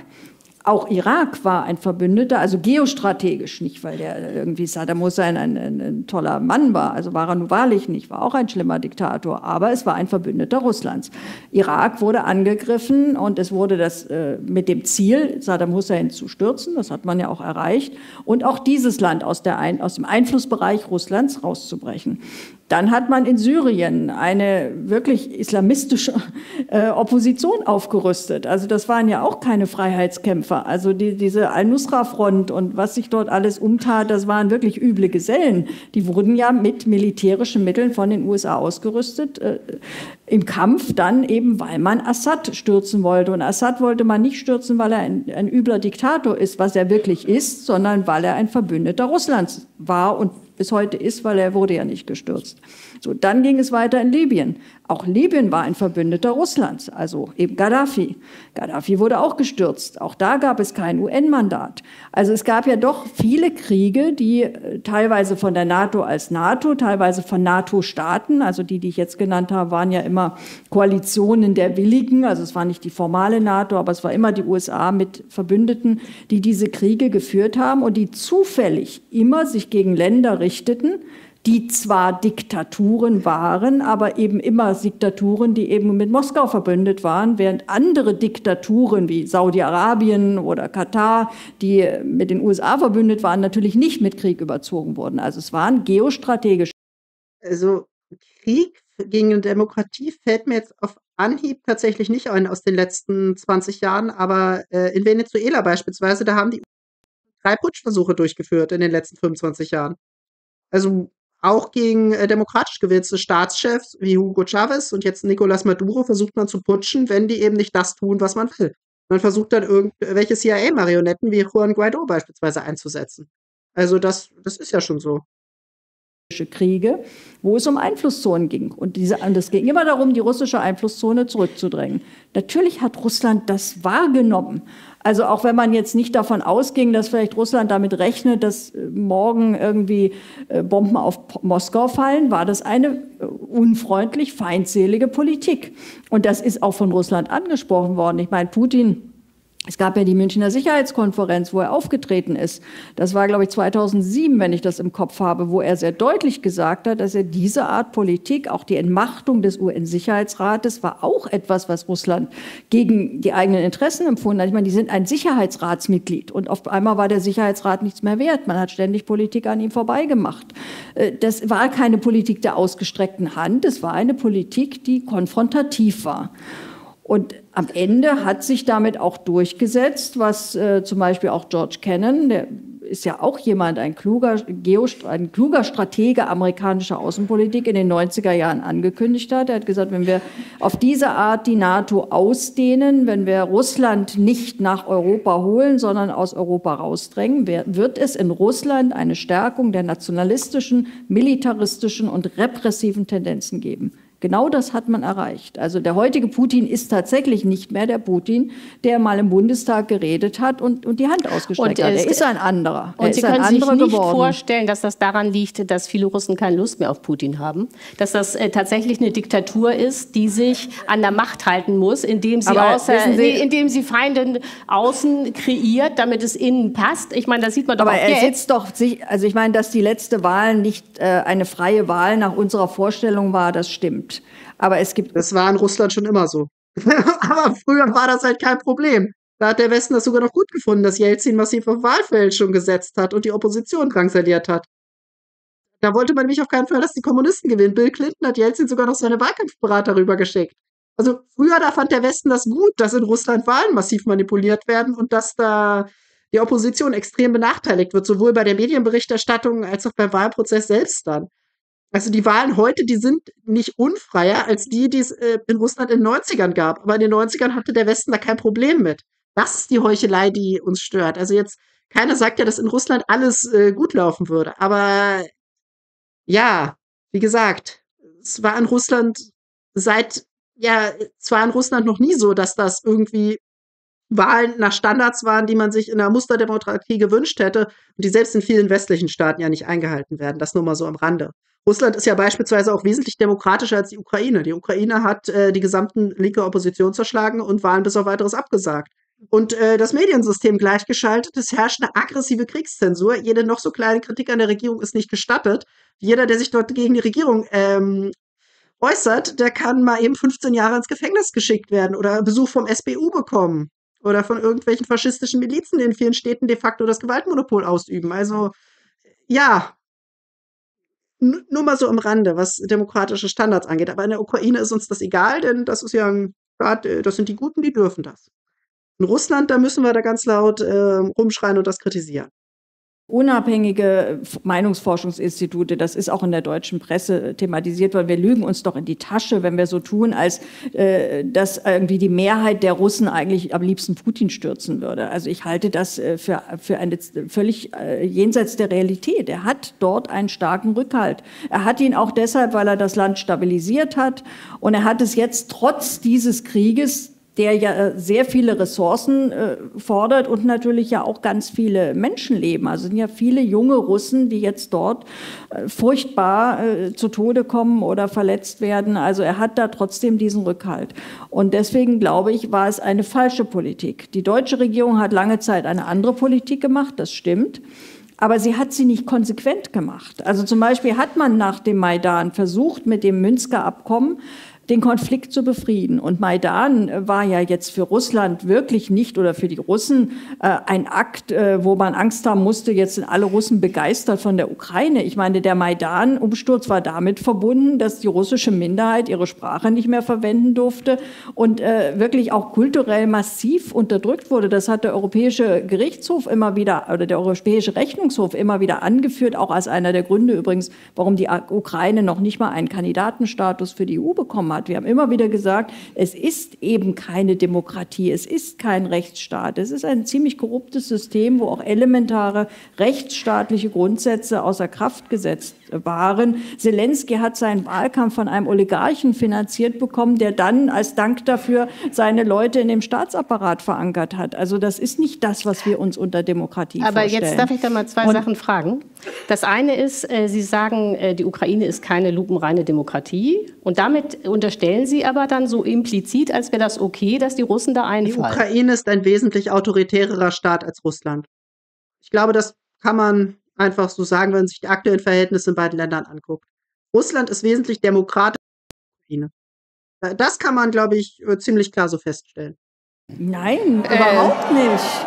Ähm, also da ist so, dann hätte ich, äh, dann, bevor Sie, nee, bevor habe, Sie antworten, hätte ich noch eine zweite Frage. Nein, ich also, möchte aber schon erst mal antworten, nein, weil, nee, so, okay. weil Sie jetzt sagen, ich, ich habe reagiert auf die These, dass, äh, die ja immer wieder vorgebracht wird, dass irgendwie Putin einmarschiert ist, weil die Ukraine ein so ausstrahlungskräftiges Land ist, dass viele Russen jetzt der Meinung wären, weil die Ukraine sozusagen ein Vorbild ist, ein leuchtendes Beispiel, Genau, seht her, wollt ihr auch äh, Bürgerkrieg, Diskriminierung von Minderheiten plus äh, wirtschaftlichen totalen Verfall, Verarmung der gesamten Bevölkerung und vor allem der Rentner? Da hätten die Russen 2014 natürlich jubelnd geschrien, ja, das wollen wir auch. Wir wollen auch, dass westliche Agrarkonzerne sich unser gesamtes Ackerland unter den Nagel reißen. Das wollen wir. Also dieses Argument ist so dermaßen bescheuert. Also gut, dass Wagenknecht hier auch nochmal auf die Diskriminierung der russischen Minderheit eingegangen ist. Das war ja auch noch ein Punkt, der die Sympathie vieler Russen für den Maidan-Putsch sicherlich auch noch sehr in Grenzen gehalten hat. Aber wie gesagt, die Ukraine, die hat sich seit 2014 wesentlich schlechter entwickelt als Russland.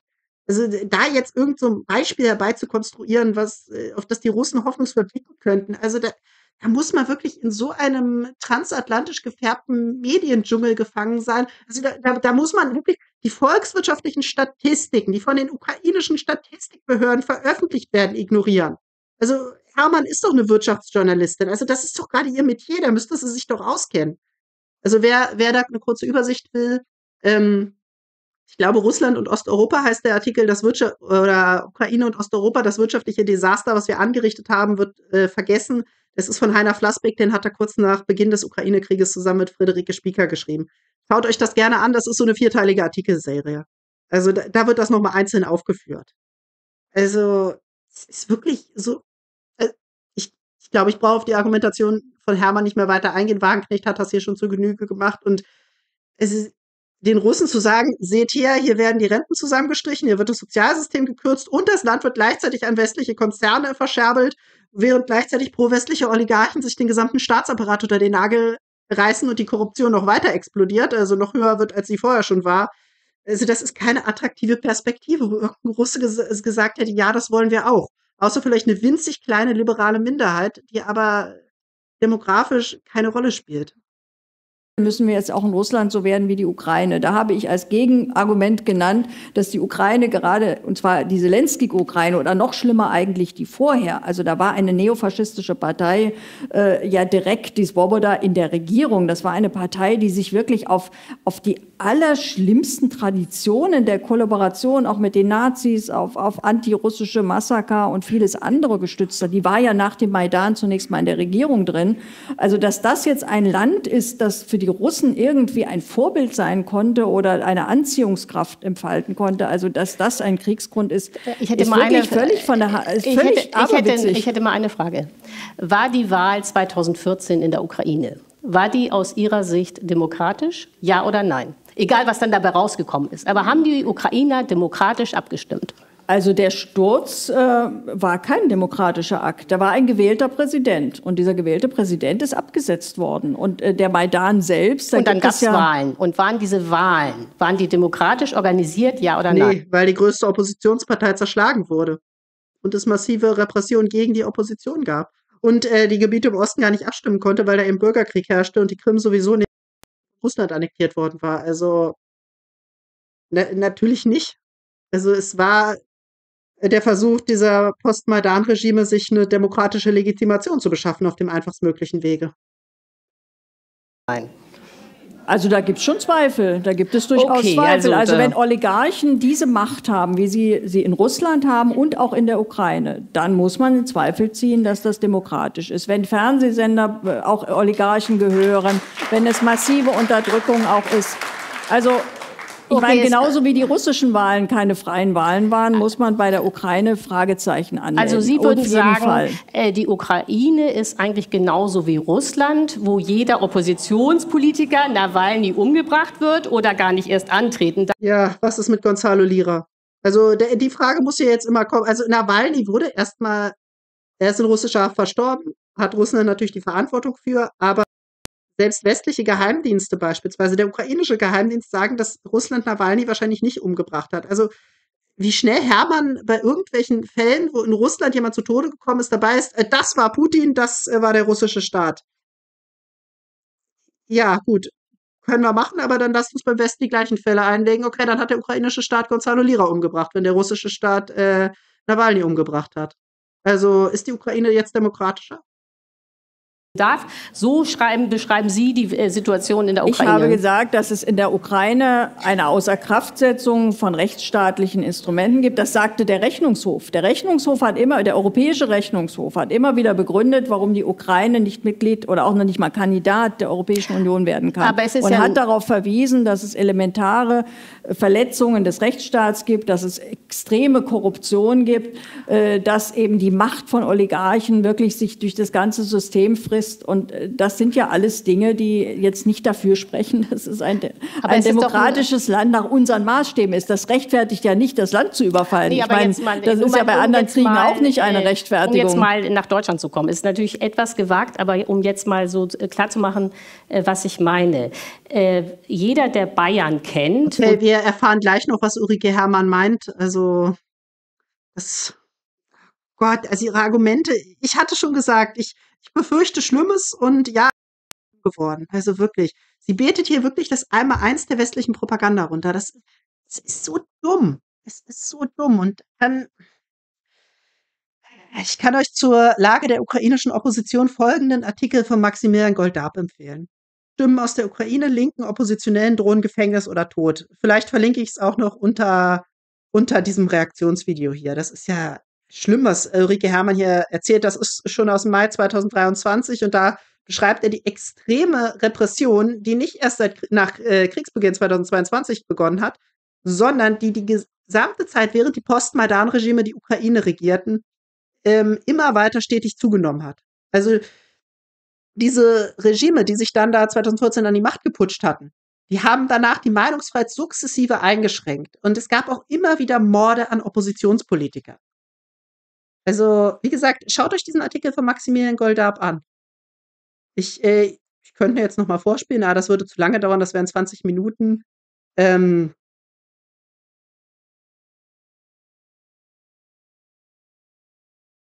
also, in dem Abschnitt hier nennt er Beispiele für ermordete ukrainische Politiker. Die Namen kennen wir alle nicht, weil die in der westlichen Presse nicht äh, breitgetreten wurden. Also von Oleg Kalaschnikow, Oles Bosina, ähm, von denen habt ihr wahrscheinlich noch nie was gehört. Aber Nawalny, da war hier drei Wochen Staatstrauer, nachdem der in russischer Haft zu Tode gekommen ist. Das ist genau das, was Norman Chomsky, ich lese gerade Manufacturing Consent, ähm, dort auch schon beschrieben hat. Ähm, Oppositionelle in verbündeten Staaten, wenn die zu Tode kommen, wenn die ermordet werden, das wird nicht erwähnt. Oppositionelle in feindlichen Staaten, da wird der Tod äh, oder Gefangenschaft, soweit es geht, ausgeschlachtet. genau das ist das. Die Unterdrückung der ukrainischen Opposition, über die wird hierzulande nicht berichtet. Über die Unterdrückung der russischen Opposition, da wird aus jedem Fall also das Maximum propagandistisch herausgeholt. Es ist einfach ein Doppelstandard, der den meisten Menschen, die sich auch in anderen Medien, in ausländischen Medien, alternativen Medien informieren, auffällt. Und deswegen hat das Publikum hier bei diesen ganzen Anmaßungen von Hermann und dieser wirklich völlig einseitigen Argumentationsführung äh, auch richtig reagiert die CSU äh, schon äh, seit 1948 äh, regiert, weiß, Bayern ist jetzt auch nicht ganz korruptionsfrei. Ne? Man denke nur an die Massenskandale. trotzdem würde wir hören uns mal nicht Hermanns Argumentation an.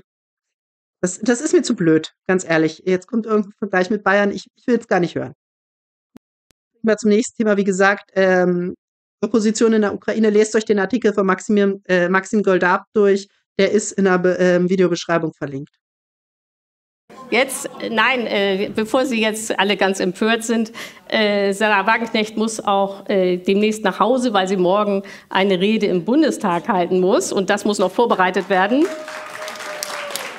Und ähm, deswegen äh, würde ich jetzt äh, gerne äh, so ein bisschen äh, die Ursachenforschung äh, beenden, egal wie man dazu steht. Und jetzt mal gleich nach vorne springen. Äh, nämlich äh, wie man diesen Krieg jetzt eigentlich beenden kann. Denn der läuft ja jetzt. Und ähm, Sie haben dazu ja auch einen Vorschlag. Vielleicht machen wir es am besten so, dass Sie jetzt einfach erstmal kurz Ihren Vorschlag. Äh, Wohl wisst ihr was? Das ist ein gutes Thema für den nächsten Teil. Ich sehe, das geht noch 20 Minuten. Da wird bestimmt wieder fast eine Stunde Reaktion drauf, so wie Hermann hier richtig sehe. Also dementsprechend würde ich jetzt äh, noch mal Pause machen und mit den Lösungen zum Ukraine-Krieg, wie man ihn beenden könnte, geht es dann gleich weiter. Kommen wir nun zum dritten Teil unserer Reaktion Ulrike Herrmann gegen Sarah Wagenknecht. Der zweite Teil war wirklich sehr, sehr haarsträubend, wo es über die Ursachen des Ukraine-Krieges und unser Verhältnis zu Russland ging. Naja, aber jetzt kommen wir dazu, was könnte getan werden, um den Ukraine-Krieg endlich zu beenden?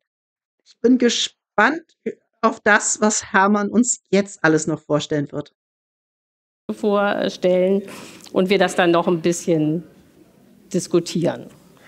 Na gut, Und der ist Vorschlag Schluss. ist, ja jetzt nicht meine individuelle Idee, sondern das ist ja etwas, was sehr, sehr viel, was die Länder des Südens schon lange fordern, was der Papst gefordert hat und was eigentlich sich nach dem gesunden Menschenverstand ergibt. Dieser Krieg wird militärisch nicht zu beenden sein. Waffenlieferungen werden diesen Krieg nicht beenden, weil die Theorie, dass die Ukraine diesen Krieg militärisch gewinnen kann, die wird uns jetzt seit zwei Jahren erzählt und die Situation der Ukraine ist immer prekärer geworden. Also Waffenlieferungen beenden diesen Krieg nicht.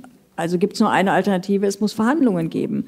Und ich finde, dass der Westen ein äh, seriöses Verhandlungsangebot machen sollte, nämlich sagen sollte, ja, wenn die Waffen schweigen, dann hören wir sofort auf, auch Waffen, Waffen zu liefern. Und wir sollten über die Frage, da ist eben der Disput äh, NATO-Mitgliedschaft, Neutralität, das sollte das Kompromissangebot sein. Und über den Status des Donbass muss dann eben verhandelt werden. Ich denke, dass vor zwei Jahren es eine realistische Chance gab, dass die Russen das wieder geräumt hätten. Das ist ja zumindest das, was auch gesagt wird in den Istanbul-Verhandlungen, dass sie das angeboten hätten. Ähm, bei, ob das jetzt noch so ist, weiß ich nicht. Aber es wäre zumindest ein Verhandlungsziel, dass die Menschen dort, so wie das in Deutschland, im Saarland nach dem Zweiten Weltkrieg war, nach einer Waffenruhe, nach einem Friedensschluss, irgendwann, vielleicht in fünf Jahren, wenn, wenn wirklich dort auch wieder Frieden eingezogen ist und wenn die UN dort mit Beobachtern vor Ort ist, dann selbst entscheiden können, zu welchem Land sie gehören. Das wäre für mich eine Lösung dieses Konflikts, die auf jeden Fall vermeiden würde, dass dort jeden Tag weiterhin Menschen sterben, dass dort immer mehr Menschen verheizt werden und übrigens auch, dass die Ukraine immer mehr äh, zurückgedrängt wird, weil äh, Waffenlieferungen verhindern das nicht. Selbst wenn wir noch mehr Waffen liefern, also die These ist ja, wir haben ja noch nicht genug geliefert, das, was der Ukraine jetzt äh, vor allem ausgeht, sind nicht Waffen, sondern Soldaten. Weil es gibt äh, nicht mehr, die jungen Menschen wollen sich da und die jungen Männer nicht mehr verheizen lassen. Sie haben nicht mehr genug einsatzfähige Soldaten. Und wenn wir nicht ernsthaft äh, den Weg gehen wollen, den jetzt Macron vorgeschlagen hat, irgendwann auch mit Bodentruppen und damit wirklich als Kriegspartei in diesem Krieg äh, einzugreifen, gibt es keinen anderen Weg als den Verhandlungsweg. Ähm,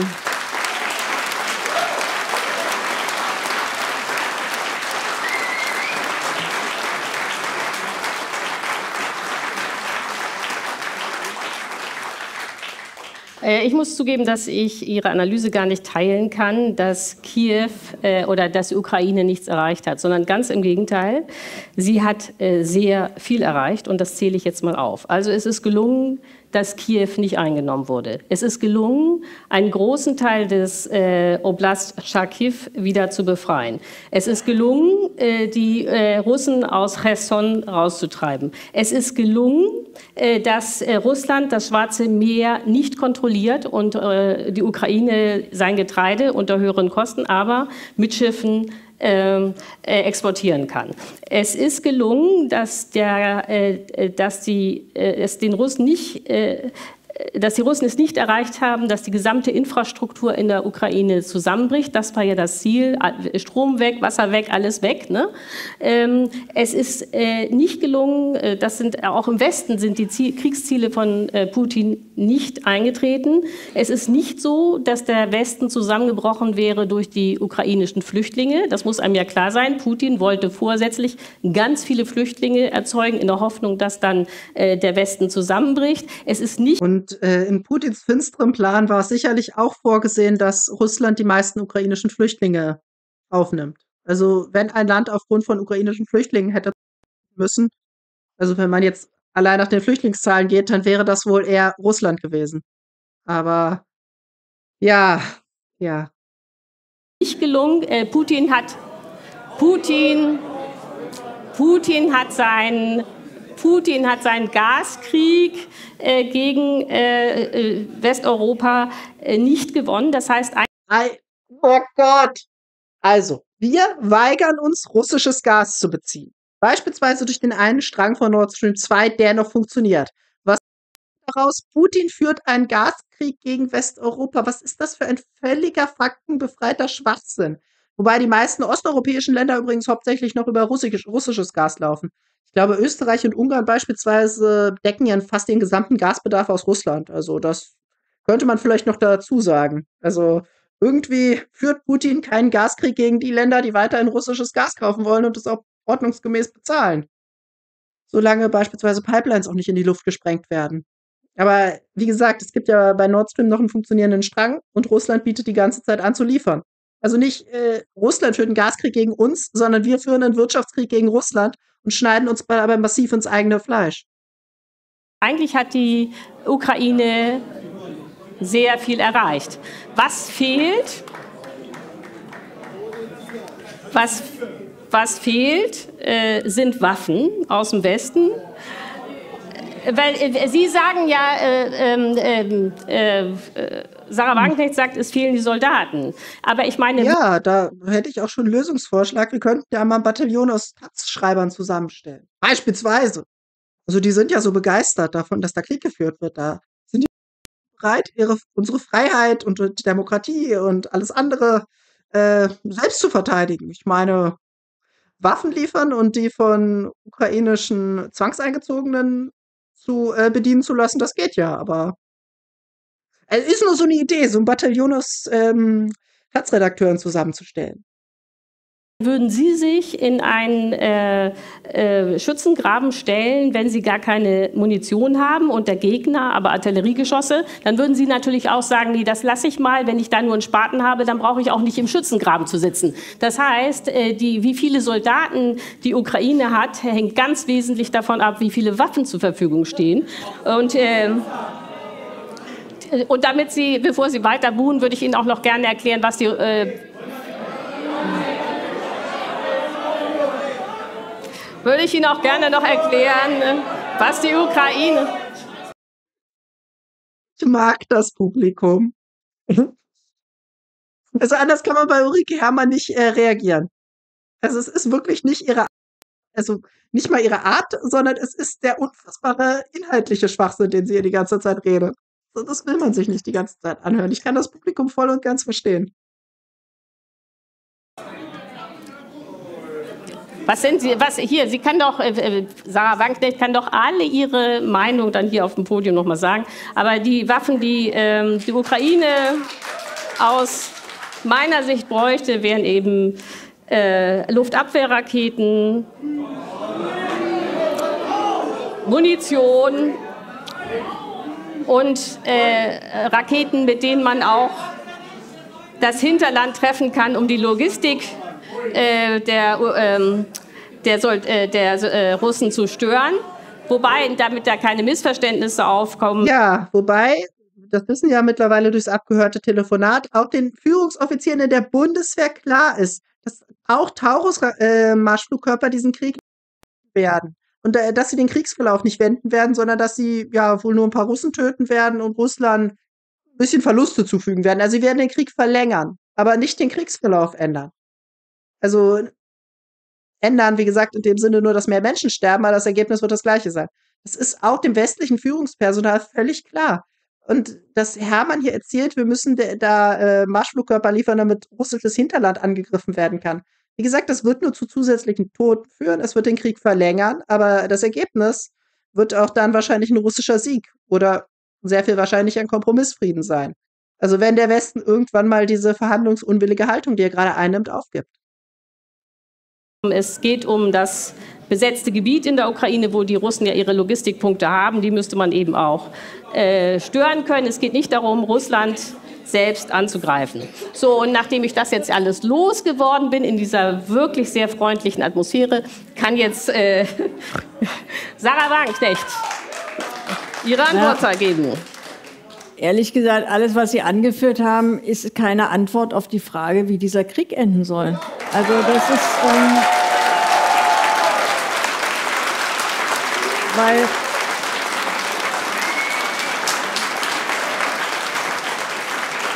weil es stimmt ja.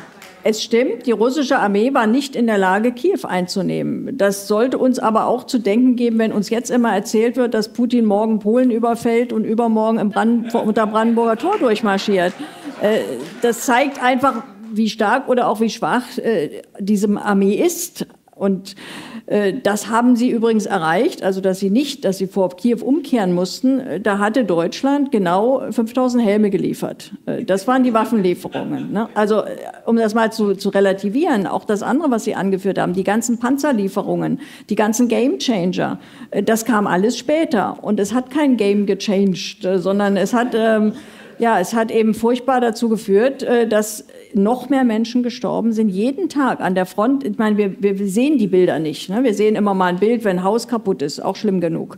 Aber die Bilder von den jungen Männern, die dort an der Front auf beiden Seiten jeden Tag zerfetzt werden, blind geschossen werden, Arme und Beine verlieren, die, sehen wir nicht und die halten wir vielleicht auch gar nicht aus. Manchmal gibt es Berichte, Spiegel war zum Beispiel mal einer, junger Mann aus der Ukraine, Augenlicht verloren, beide Arme verloren. Der zählt jetzt noch nicht mal unter die Todesopfer, aber das Leben von dem jungen Mann ist zerstört. Und die Frage ist, wie lange soll das noch so weitergehen? Und welche realistische Antwort haben diejenigen, die sagen, wir müssen noch mehr Waffen liefern, auf die Frage, wie soll es enden? Und ich finde, als Rolf Mützenich das im Bundestag eigentlich das Selbstverständlichste angesprochen hat, dass wir nicht nur darüber nachdenken sollten, wie wir einen Krieg führen, sondern vielleicht auch mal, wie man ihn einfrieren und perspektivisch beenden sollte. Äh, ich war entsetzt, was da also plötzlich über den Mann einbrach. Also der hatte doch völlig recht. Genau darüber müssen wir doch reden.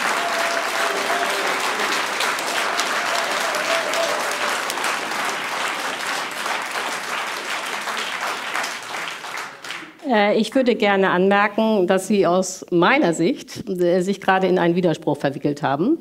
Äh, ja, weil es wurde ja die ganze Zeit gesagt, Russland hätte die Ukraine angegriffen, weil da so viele NATO-Soldaten waren, so viele NATO-Waffen und so weiter. Und jetzt sagen Sie, die Ukraine hatte doch gar nichts, nur 5000 Nein, Helme. Im Vorfeld. Und sie, Nein, und sie hat Gott. Wagenknecht bezieht sich auf die deutschen Waffenlieferungen und nicht auf äh, die Aufrüstung, die seit 2000 passiert ist. Wie gesagt, die ist ja auch verdeckt passiert. Also das hat man ja erst nach und nach erfahren, was die CIA, was äh, Academy dort alles gemacht haben. Hinter den Kulissen wohlgemerkt. Also die CIA-Bunker, die waren bis vor kurzem geheim. Die sind erst vor kurzem an die Öffentlichkeit gelangt sie von Russen, Deutschland. Dann haben sie die Russen besiegt und daran kann man sehen, dass die Russen gar nicht gefährlich sind, weil die Ukraine ohne alles hat die Russen besiegt vor Kiew.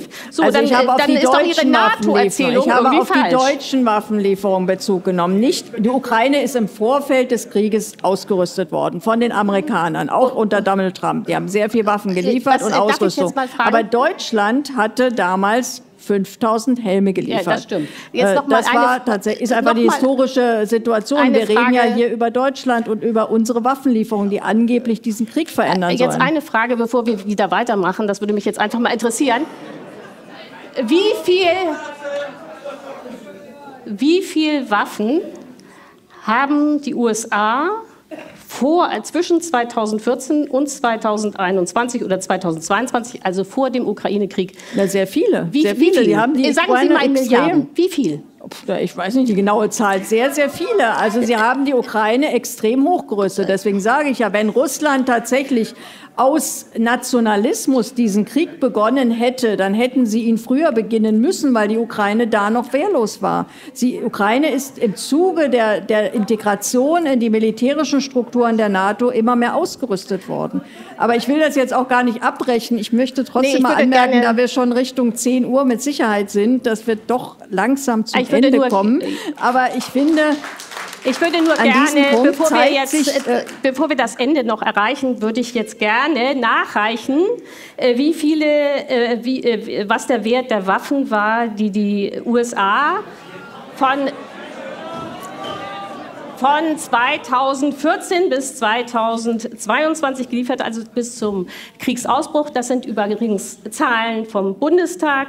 Und ich äh, hätte gedacht, äh, dass Sarah Wagenknecht das weiß, wenn sie immer darüber redet. Ähm, die USA, die, die USA haben in sieben Jahren insgesamt Waffen in, zwei, in der Höhe von 2,7 Milliarden Euro, Dollar gelebt. Das war der Bundestag Frau Wagenknecht ist im Bundestag und sie äußert sich ständig zu diesem Thema. Und deswegen würde ich jetzt gerne noch mal nachreichen. Es waren 2,7 Milliarden Dollar so, an Ich hätte gedacht, viel mehr, um ehrlich zu sein. Nee, das steht im Bundestag. Kann okay. ich Ihnen auch schicken. So, und jetzt. Ähm, ist da die versteckte Hilfe über, wie gesagt, Academy und die CIA mit drin? Hilfe, die nicht äh, in Form von offiziellen Waffenlieferungen gekommen ist. Also ich weiß es nicht. Äh, Ulrike Herrmann zitierte jetzt die Zahlen, deswegen, ähm, deswegen ist das jetzt etwas schwierig, darauf einzugehen. Aber da würde mich interessieren, wie die erhoben sind. Nein, wissen Sie, weil es ja hier um Leben und Tod geht, das hat ja Frau Wagenknecht äh, sehr plastisch beschrieben, glaube ich, dass es wichtig ist, dass die Zahlen bekannt sind und auch stimmen. Und äh, ich könnte Ihnen jetzt auch noch sagen, wie viel Dänemark, Tschechien, Frankreich, Polen und Deutschland geliefert haben, aber das erspare ich Ihnen jetzt. Das können Sie ja alles beim Bundestag nachgucken. Also ich glaube nicht, dass Deutschland so, sehr viel geliefert nee, hat. Genau, 44 Millionen in sieben Jahren. So, mhm. jetzt äh, so viel zur NATO-Präsenz in der Ukraine. Jetzt als letztes nochmal, vielleicht der letzte, die letzte Frage. Ähm, äh, die ganz große Sorge ist ja immer, dass wenn man das macht, was Sie sagen, man macht äh, keine Waffenlieferungen mehr, seitens des Westens und hat dann irgendeine Art von Stillstand an dieser Front, äh, äh dass das, dann äh, äh, Putin. Ich habe gerade einen sehr interessanten Artikel gefunden. Wir, wir, wir fact-checken das jetzt mal live, was Ulrike Herrmann hier gerade gesagt hat. Ähm, wir, wir live. Das, das finde ich nämlich sehr interessant. Ich habe hier nämlich gerade einen Artikel gefunden. Ich hatte den gerade auf dem zweiten Bildschirm gesucht. Ähm, ähm, Wartet, ich gebe mal ich gebe mal ein.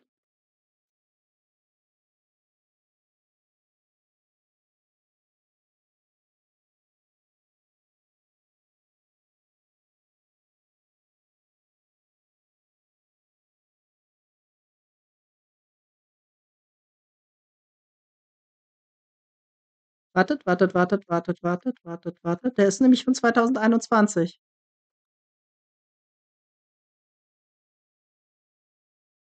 Das das finde ich sehr interessant. Das finde ich sehr interessant. Ähm ähm ich lasse mal weiterlaufen und lese mir in der Zwischenzeit 'n Artikel nebenbei durch. Putin diese Zeit nutzt, um wieder aufzurüsten und äh, erneut angreift. Äh, äh, warum ist, äh, das ist ja das, was sehr viele Sicherheitsexperten umtreibt. Warum sehen Sie das jetzt nicht als eine realistische Gefahr? Na, wenn die Analyse stimmt, dass tatsächlich diese Frage von NATO-Mitgliedschaft, Militärbasen, NATO-Stützpunkten der Auslöser ist, dann gäbe es ja den Anlass nicht mehr, wenn man darüber verhandelt. Und das Zweite ist natürlich, äh, Russland braucht ja nicht unbedingt die Atempause. Also eigentlich braucht sie die Ukraine. Aber wir sollten jetzt nicht sagen, wir machen Waffenstillstand, rüsten die Ukraine hoch, damit sie dann wieder äh, den Krieg weiterführen kann. Aber wenn jetzt jemand davon profitiert, äh, dass es jetzt einen Waffenstillstand gibt, ist das eher die Ukraine als Russland. Weil die Ukraine ist zurzeit in der Defensive. Und je weiter das geht, desto geringer wird auch die Wahrscheinlichkeit, dass Russland äh, verhandelt. Also das sehe ich auch. Also wenn die irgendwann, ähm, sag mal, wenn die Ukraine äh, gar nicht mehr irgendwann in der Lage ist, sich irgendwie zu verteidigen, ja, warum soll die, warum sollen dann noch verhandelt werden? Also man sollte es selbst äh, schnellstmöglich machen. Das ist das, was der Papst ja auch gesagt hat, dass im Eigeninteresse der Ukraine jetzt äh, Verhandlungen nicht mehr blockiert werden sollten. Und die Wahrheit ist eben auch, wir wissen nicht genau, wie verhandlungsbereit Russland ist, das stimmt. Aber was wir wissen ist, dass die Ukraine immer noch ein Dekret in Kraft hat, äh, das Verhandlungen ja verbietet. Also Zelensky hat ja zurzeit keine, also ist ja gar nicht äh, bereit zu verhandeln per Dekret. Und das ist ein Problem. Und er hat ja auch sofort, als der Papst das jetzt gesagt hat und auch als andere Länder das immer wieder gesagt haben, hat er das ja zurückgewiesen. Er hat ja gesagt, wir brauchen keine Vermittler zwischen uns und dem Aggressor. Aber wenn man keine Vermittler haben will, dann ja, wie, wie soll das dann weitergehen? Also, also deswegen glaube ich, dass es wichtig ist, schnellstmöglich jetzt zu versuchen, dort Verhandlungen einzuleiten. Und wenn Sie sagen, na, vielleicht geht der Krieg dann wieder weiter, ich finde, man muss natürlich auch in so einem Verhandlungen über Sicherheitsgarantien reden. Ja, natürlich sollte man das machen, äh, damit dann tatsächlich auch Stabilität herrscht, damit der Krieg nicht wieder aufflammt. Aber zu sagen, weil der Krieg irgendwann weitergehen könnte, beenden wir ihn jetzt gar nicht erst, ist ja auch nicht sehr, sehr, sehr schlüssig. Also ich würde gerne nur anmerken, dass das Dekret von... Äh also, ich habe es mir durchgelesen, der Artikel ist von 2021, da müsste man jetzt noch genauer recherchieren. Aber ähm, der Bericht anonyme Quellen und ein Deal, der im Hintergrund vorbereitet wurde, der zu Zeitpunkt, als dieser Artikel geschrieben wurde, noch nicht abgeschlossen war. Ich, ja, ich glaube, ich äh, verlinke auch den Artikel da mal in der Beschreibung, weil ich das doch sehr interessant finde. Also, wie gesagt, äh, 10 Billionen Dollar, das, okay, das ist jetzt äh, Herstell der ukrainischen Rüstungsindustrie sowie Aufstellung einer Privatarmee mithilfe von, wie gesagt, ähm, äh, von Blackwater, aber äh, Academy, wie sie zu dem Zeitpunkt hießen, aber das ist doch, das ist doch sehr, sehr interessant. Also das, wie gesagt, in den Waffenlieferungen, ich wusste das da nicht. Also mir ist das gleich komisch vorgekommen, dass diese Summe, die Hermann da genannt hat, dass die nicht stimmen konnte. Also das, wie gesagt, ähm, müsste ich jetzt noch weiter recherchieren, aber die Summe 2,7 Milliarden Dollar, da, da habe ich mir sofort gedacht, da kann nicht alles drin sein. Da kann nicht alles drin sein. Da ist die verdeckte Unterstützung. Wie gesagt, über ähm, Academy und über die CIA beispielsweise, zwei Kanäle. Die ist da nicht mit drin. Das sind nur die offiziellen Waffenlieferungen gewesen. Äh, Zelensky sagt nur, dass man nicht mit Putin verhandeln will. Er sagt nicht, man will nicht mit Russland verhandeln. Naja, was heißt das? Also ich meine, Putin ist ja nun mal der Präsident. Das mag man schön finden oder auch nicht, aber er wird für die nächsten fünf Jahre der Präsident sein. Oder ich weiß gar nicht, wie lange die Wahlperiode ist. Er ist ja gerade jetzt nun mal wiedergewählt worden. Also äh, es also, macht ja keinen Sinn, irgendwo zu sagen, naja, mit irgendeinem Russland unter irgendeinem Machthaber verhandeln wir, aber mit dem Russland, was wir jetzt nun mal haben, nicht. Aber Putin äh, macht ja immer ganz klar, dass er nicht verhandeln will und dass er immer noch die Das ist eine Lüge. Das ist einfach eine Lüge. Wenn ihr das von irgendeinem Journalisten hört, hier jetzt wieder von Ulrike Herrmann, dann stimmt das nicht. Russland ist verhandlungsbereit. Russland hat voll Demilitarisierung, Entnazifizierung, Anerkennung der territorialen Realitäten und die wichtigste Forderung, Neutralität. Das sind die vier russischen Forderungen. Und die wichtigste Forderung, die ist wirklich die Neutralität der Ukraine. Im Istanbul, da war Russland sogar ohne territoriale Verschiebungen bereit, äh, die also nur gegen Neutralität der Ukraine zu einem Friedensschluss zu kommen. Jetzt haben sich die russischen Forderungen verschärft, da sich die ukrainische Verhandlungsposition verschlechtert hat. Und wenn dieser Krieg länger dauert, dann könnte es sein, dass sich die ukrainische Verhandlungsposition bis dahin noch weiter verschlechtert hat. Das heißt, wenn man diese, wie gesagt, sehr großzügigen russischen Bedingungen jetzt einlösen will, dann sollte man das schnellstmöglich machen und da nicht noch zwei Jahre warten und ein paar hunderttausend Menschen sterben lassen. Denn die ukrainische Position wird sich eher verschlechtern als verbessern. Russland ist verhandlungsbereit. Russland war verhandlungsbereit, und, aber ob Russland in zwei Jahren noch zu solch guten Bedingungen verhandlungsbereit sein wird, das wissen wir noch nicht. Also das ist eher unwahrscheinlich beim aktuellen Kriegsverlauf. Das heißt, wenn man diese Bedingungen noch bekommen möchte bei Verhandlungen, dann sollte man eher jetzt verhandeln als ja, erst in ein paar Jahren. Ziele vertritt, die er auch äh, äh in seinem äh, Aufsatz äh, schon äh, im Sommer 2021 postuliert hat und jetzt immer noch. Erstens, die Ukraine gehört zu Russland. Zweitens, es geht um Demilitarisierung und Denazifizierung äh, der Ukraine. Das heißt, das Existenzrecht der Ukraine existiert aus der Sicht von Putin nicht. Also das Interview und mit Tucker Carlson, also ich mein Russisch ist nicht mehr so, dass ich jetzt alle Äußerungen von Putin irgendwie auf Russisch lesen kann. Das äh, kann ich sprachlich nicht. Aber das Interview mit Tucker Carlson zum Beispiel war ja übersetzt. Das habe ich mir angeguckt. Ich habe es auch wirklich ganz, äh, ganz äh, mir angeguckt. Und da hat er einerseits gesagt, naja, also das stimmt. Er hat gesagt, mit der Ukraine, also ob die überhaupt was Eigenständiges ist, da hätte er Zweifel. Aber er hat dazu gesagt, äh, wie es auch immer ist, er wäre bereit zu verhandeln. Und zwar unter der Bedingung, dass die Ukraine selbstverständlich ein eigenständiger Staat bleibt. Und da hat er nochmal die NATO-Geschichte erzählt und auch nochmal sehr betont, dass das für ihn äh, der Hauptgrund ist. Nee, das also das ist ja sagt, hat er ja so gesagt. Also ich meine, das kann man ernst nehmen. Man kann sagen, wie Sie, ja, der lügt ja sowieso. Aber dann kann man nicht im nächsten Satz sagen, ja, er sagt doch immer, er will nicht verhandeln. Also äh, sagen tut er das nicht. Das stimmt nicht. Also äh, wenn äh, Putin von einem eigenständigen Staat redet, äh, der Ukraine, dann stimmt das. Aber er stellt sich das so vor wie Weißrussland. Das ist auch ein eigenständiger Staat.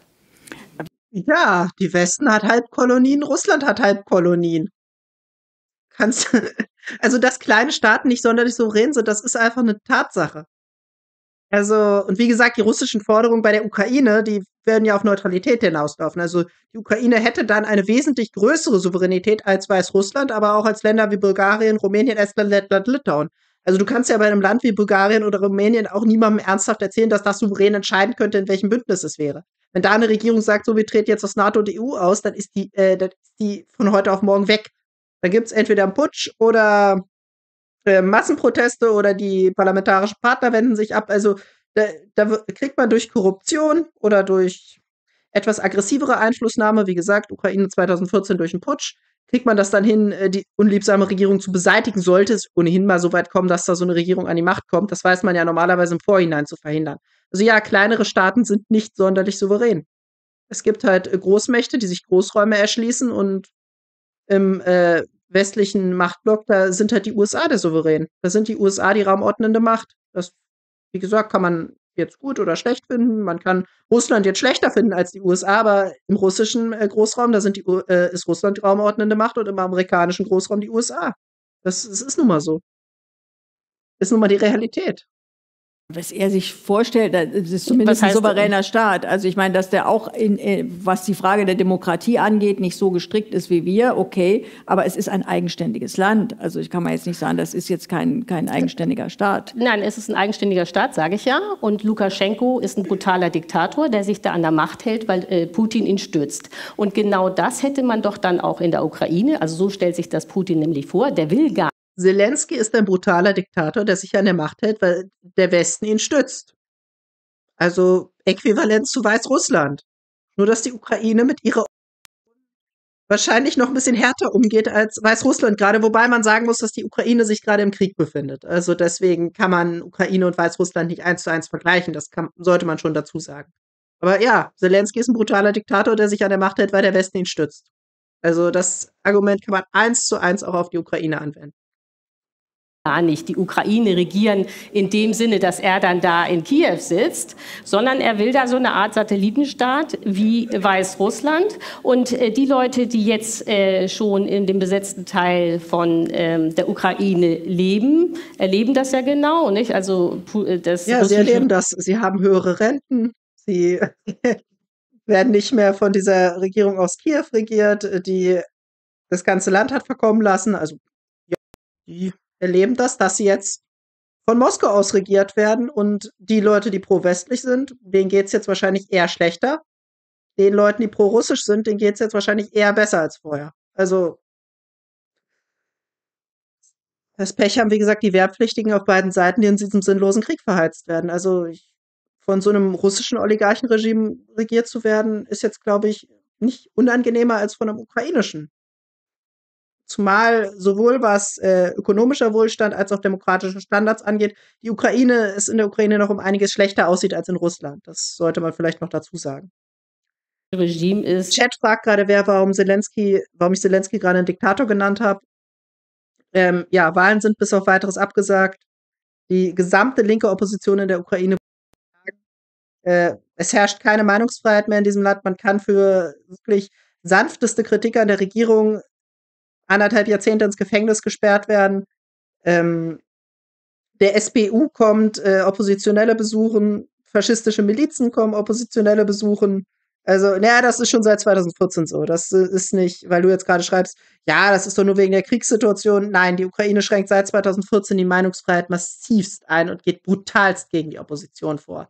Das hat sich äh, seit Kriegsbeginn nochmal enorm verschärft. Ähm, ich hatte den Artikel schon im letzten Reaktionsvideo empfohlen. Stimmen aus der Ukraine, linken Oppositionellen drohen Gefängnis oder Tod. Geschrieben wurde das Ganze von Maxim Goldab Vorsitzenden der äh, Union der linken Kräfte für den demokratischen Sozialismus. Das ist eine linke Opposit äh, Oppositionspartei in der Ukraine, die eben, ja, die verboten wurde. Nach Kriegsbeginn von Zelensky. Ich habe ja auch, also, du willst mir nicht zuhören, oder? Also, kannst dir das ganze Video ja noch mal, noch mal angucken, wenn ich es dann auf YouTube hochgeladen habe. Oder kannst dir den Stream noch mal angucken. Ich habe das hier doch alles schon genau begründet. Meine Güte. Äh, Russifizierung, Deportation, ja, gut, Folter. Die, die, die, äh, das heißt, Sie sagen ja, wenn man, äh, wenn man den Krieg beendet, dann äh, kommen keine Menschen mehr um. Das ist aber, glaube ich, nicht die Perspektive vieler Ukrainer. Die Was heißt äh, Russifizierung? Also auch da muss man mal relativieren. Die Ukraine hat diese Gebiete, also die Post-Maidan-Regime, die ab 2014 an der Macht waren, haben diese Gebiete, die haben Geschichtsbücher umgeschrieben, die haben da versucht, die ukrainische Sprache zu fördern, so einen absurden ukrainischen Nationalismus in diesen Gebieten aufzudrücken, der dort kulturell nicht hingehörte, da das halt ethnisch russische Gebiete sind. Also, ja, und Russland macht das Ganze jetzt in die andere Richtung, aber ja, also wie gesagt, äh, Hermann hat halt so eine simple Weltsicht, ähm, Ukraine gut, äh, Russland böse. Und äh, wenn Russland irgendwas macht, ganz, ganz böse, muss man das ganz lange kritisieren. Wenn die Ukraine irgendwas macht, verliert man darüber kein Sterbenswörtchen. Ist zwar so ziemlich das Gleiche, was beide machen, aber wie gesagt, in der Ukraine, was demokratische Standards angeht, sind die wahrscheinlich noch wesentlich weiter eingeschränkt als in Russland. Aber bei der Ukraine, da muss man das, äh, da darf man darüber nicht reden. Das sind ja die Guten, Russland sind die Bösen, da muss man ganz lange drüber reden erlebt haben, äh, wie brutal äh, die äh, Russen gegenüber Zivilisten auch vorgehen können. Ja, das heißt, die werden dann die im Krieg werden furchtbare Kriegsverbrechen begangen, das stimmt und das ist schrecklich. Und die gibt es äh, nach UNO-Angaben übrigens auf beiden Seiten, aber natürlich gibt es sie in den besetzten Gebieten. Und ein Grund mehr wäre zum Beispiel bei den Verhandlungen natürlich zu erreichen, dass dort UN-Beobachter wieder hingehen. Die waren ja vorher sogar in den Separatistengebieten, die waren ja da, die sind jetzt natürlich weg. Im Krieg gibt es keinen UN-Beobachter, weil das ja lebensgefährlich ist. Also äh, müsste man natürlich in den Verhandlungen darauf dringen, dass die UN zurückkommt, dass die UN dort auch beaufsichtigt, wenn dort Wahlen stattfinden. Aber das alles als Argument anzuführen, warum man gar nicht erst verhandelt, warum man gar nicht erst einfriert, warum man gar nicht erst versucht, dass die Waffen schweigen, das überzeugt mich nicht. Zu sagen, ja, da wird dann alles noch immer noch ganz schlimm sein. Das Allerschlimmste, was es gibt, ist Krieg. Und deswegen muss man diesen Krieg beenden. Und danach muss man über alles andere reden. Aber ich bitte jetzt wirklich, äh, wir sind extrem spät und äh, ja, wir können ja, wir werden uns ja auch nicht einigen. Insofern äh, brauchen wir jetzt auch das nicht weiter zu diskutieren. Ähm, ich glaube, äh, die Position von Sarah Wagenknecht ist äh, sehr deutlich geworden. Äh, vielen Dank, dass Sie hier waren. ja, vielen Dank, dass Sie. Hey, wer hatte die besseren Argumente? Ulrike, wir sollten noch Waffen liefern, dann gewinnt die Ukraine auf jeden Fall Hermann. Also hat die letzten zwei Jahre ja schon so wunderbar funktioniert. Und äh, Russland hat auch keinen Grund, sich von einem Machtblock bedroht zu fühlen, das 20 mal so viel Geld fürs Militär ausgegeben hat wie Russland und immer mehr an die russischen Grenzen herangerückt ist und zahlreiche Angriffskriege gegen prorussische Staaten geführt hat. Ja, total gute Argumente. Ich glaube, sie hat uns alle überzeugt. Ja, war mal eine interessante Diskussion. Also finde ich tatsächlich besser, wenn da ein Moderator, also so, so schlimm ich das jetzt inhaltlich fand, was sie hier erzählt hat, also wirklich manipulativstes Framing. Da müsstest du eigentlich die ganze Zeit einen Historiker neben sitzen haben, der sie jedes Mal korrigiert. Denn Wagenknecht kann ja auch nicht jedes Detail im Kopf haben. Und ich habe bestimmt auch viele Sachen, wo sie etwas in irgendeine Richtung geframed hat, hier nicht korrigiert bei dem Reaktionsvideo. Weil ich, wie gesagt, ich kenne mich einigermaßen mit Geschichte aus, aber oh, also da musst du wirklich aufpassen wie, ein, äh, wie so ein Schießhund. Das ist unglaublich alles, was irgendwie passiert ist, versucht sie so darzustellen, dass der Westen im Recht ist und Russland im Unrecht. Also das ist wirklich unfassbar.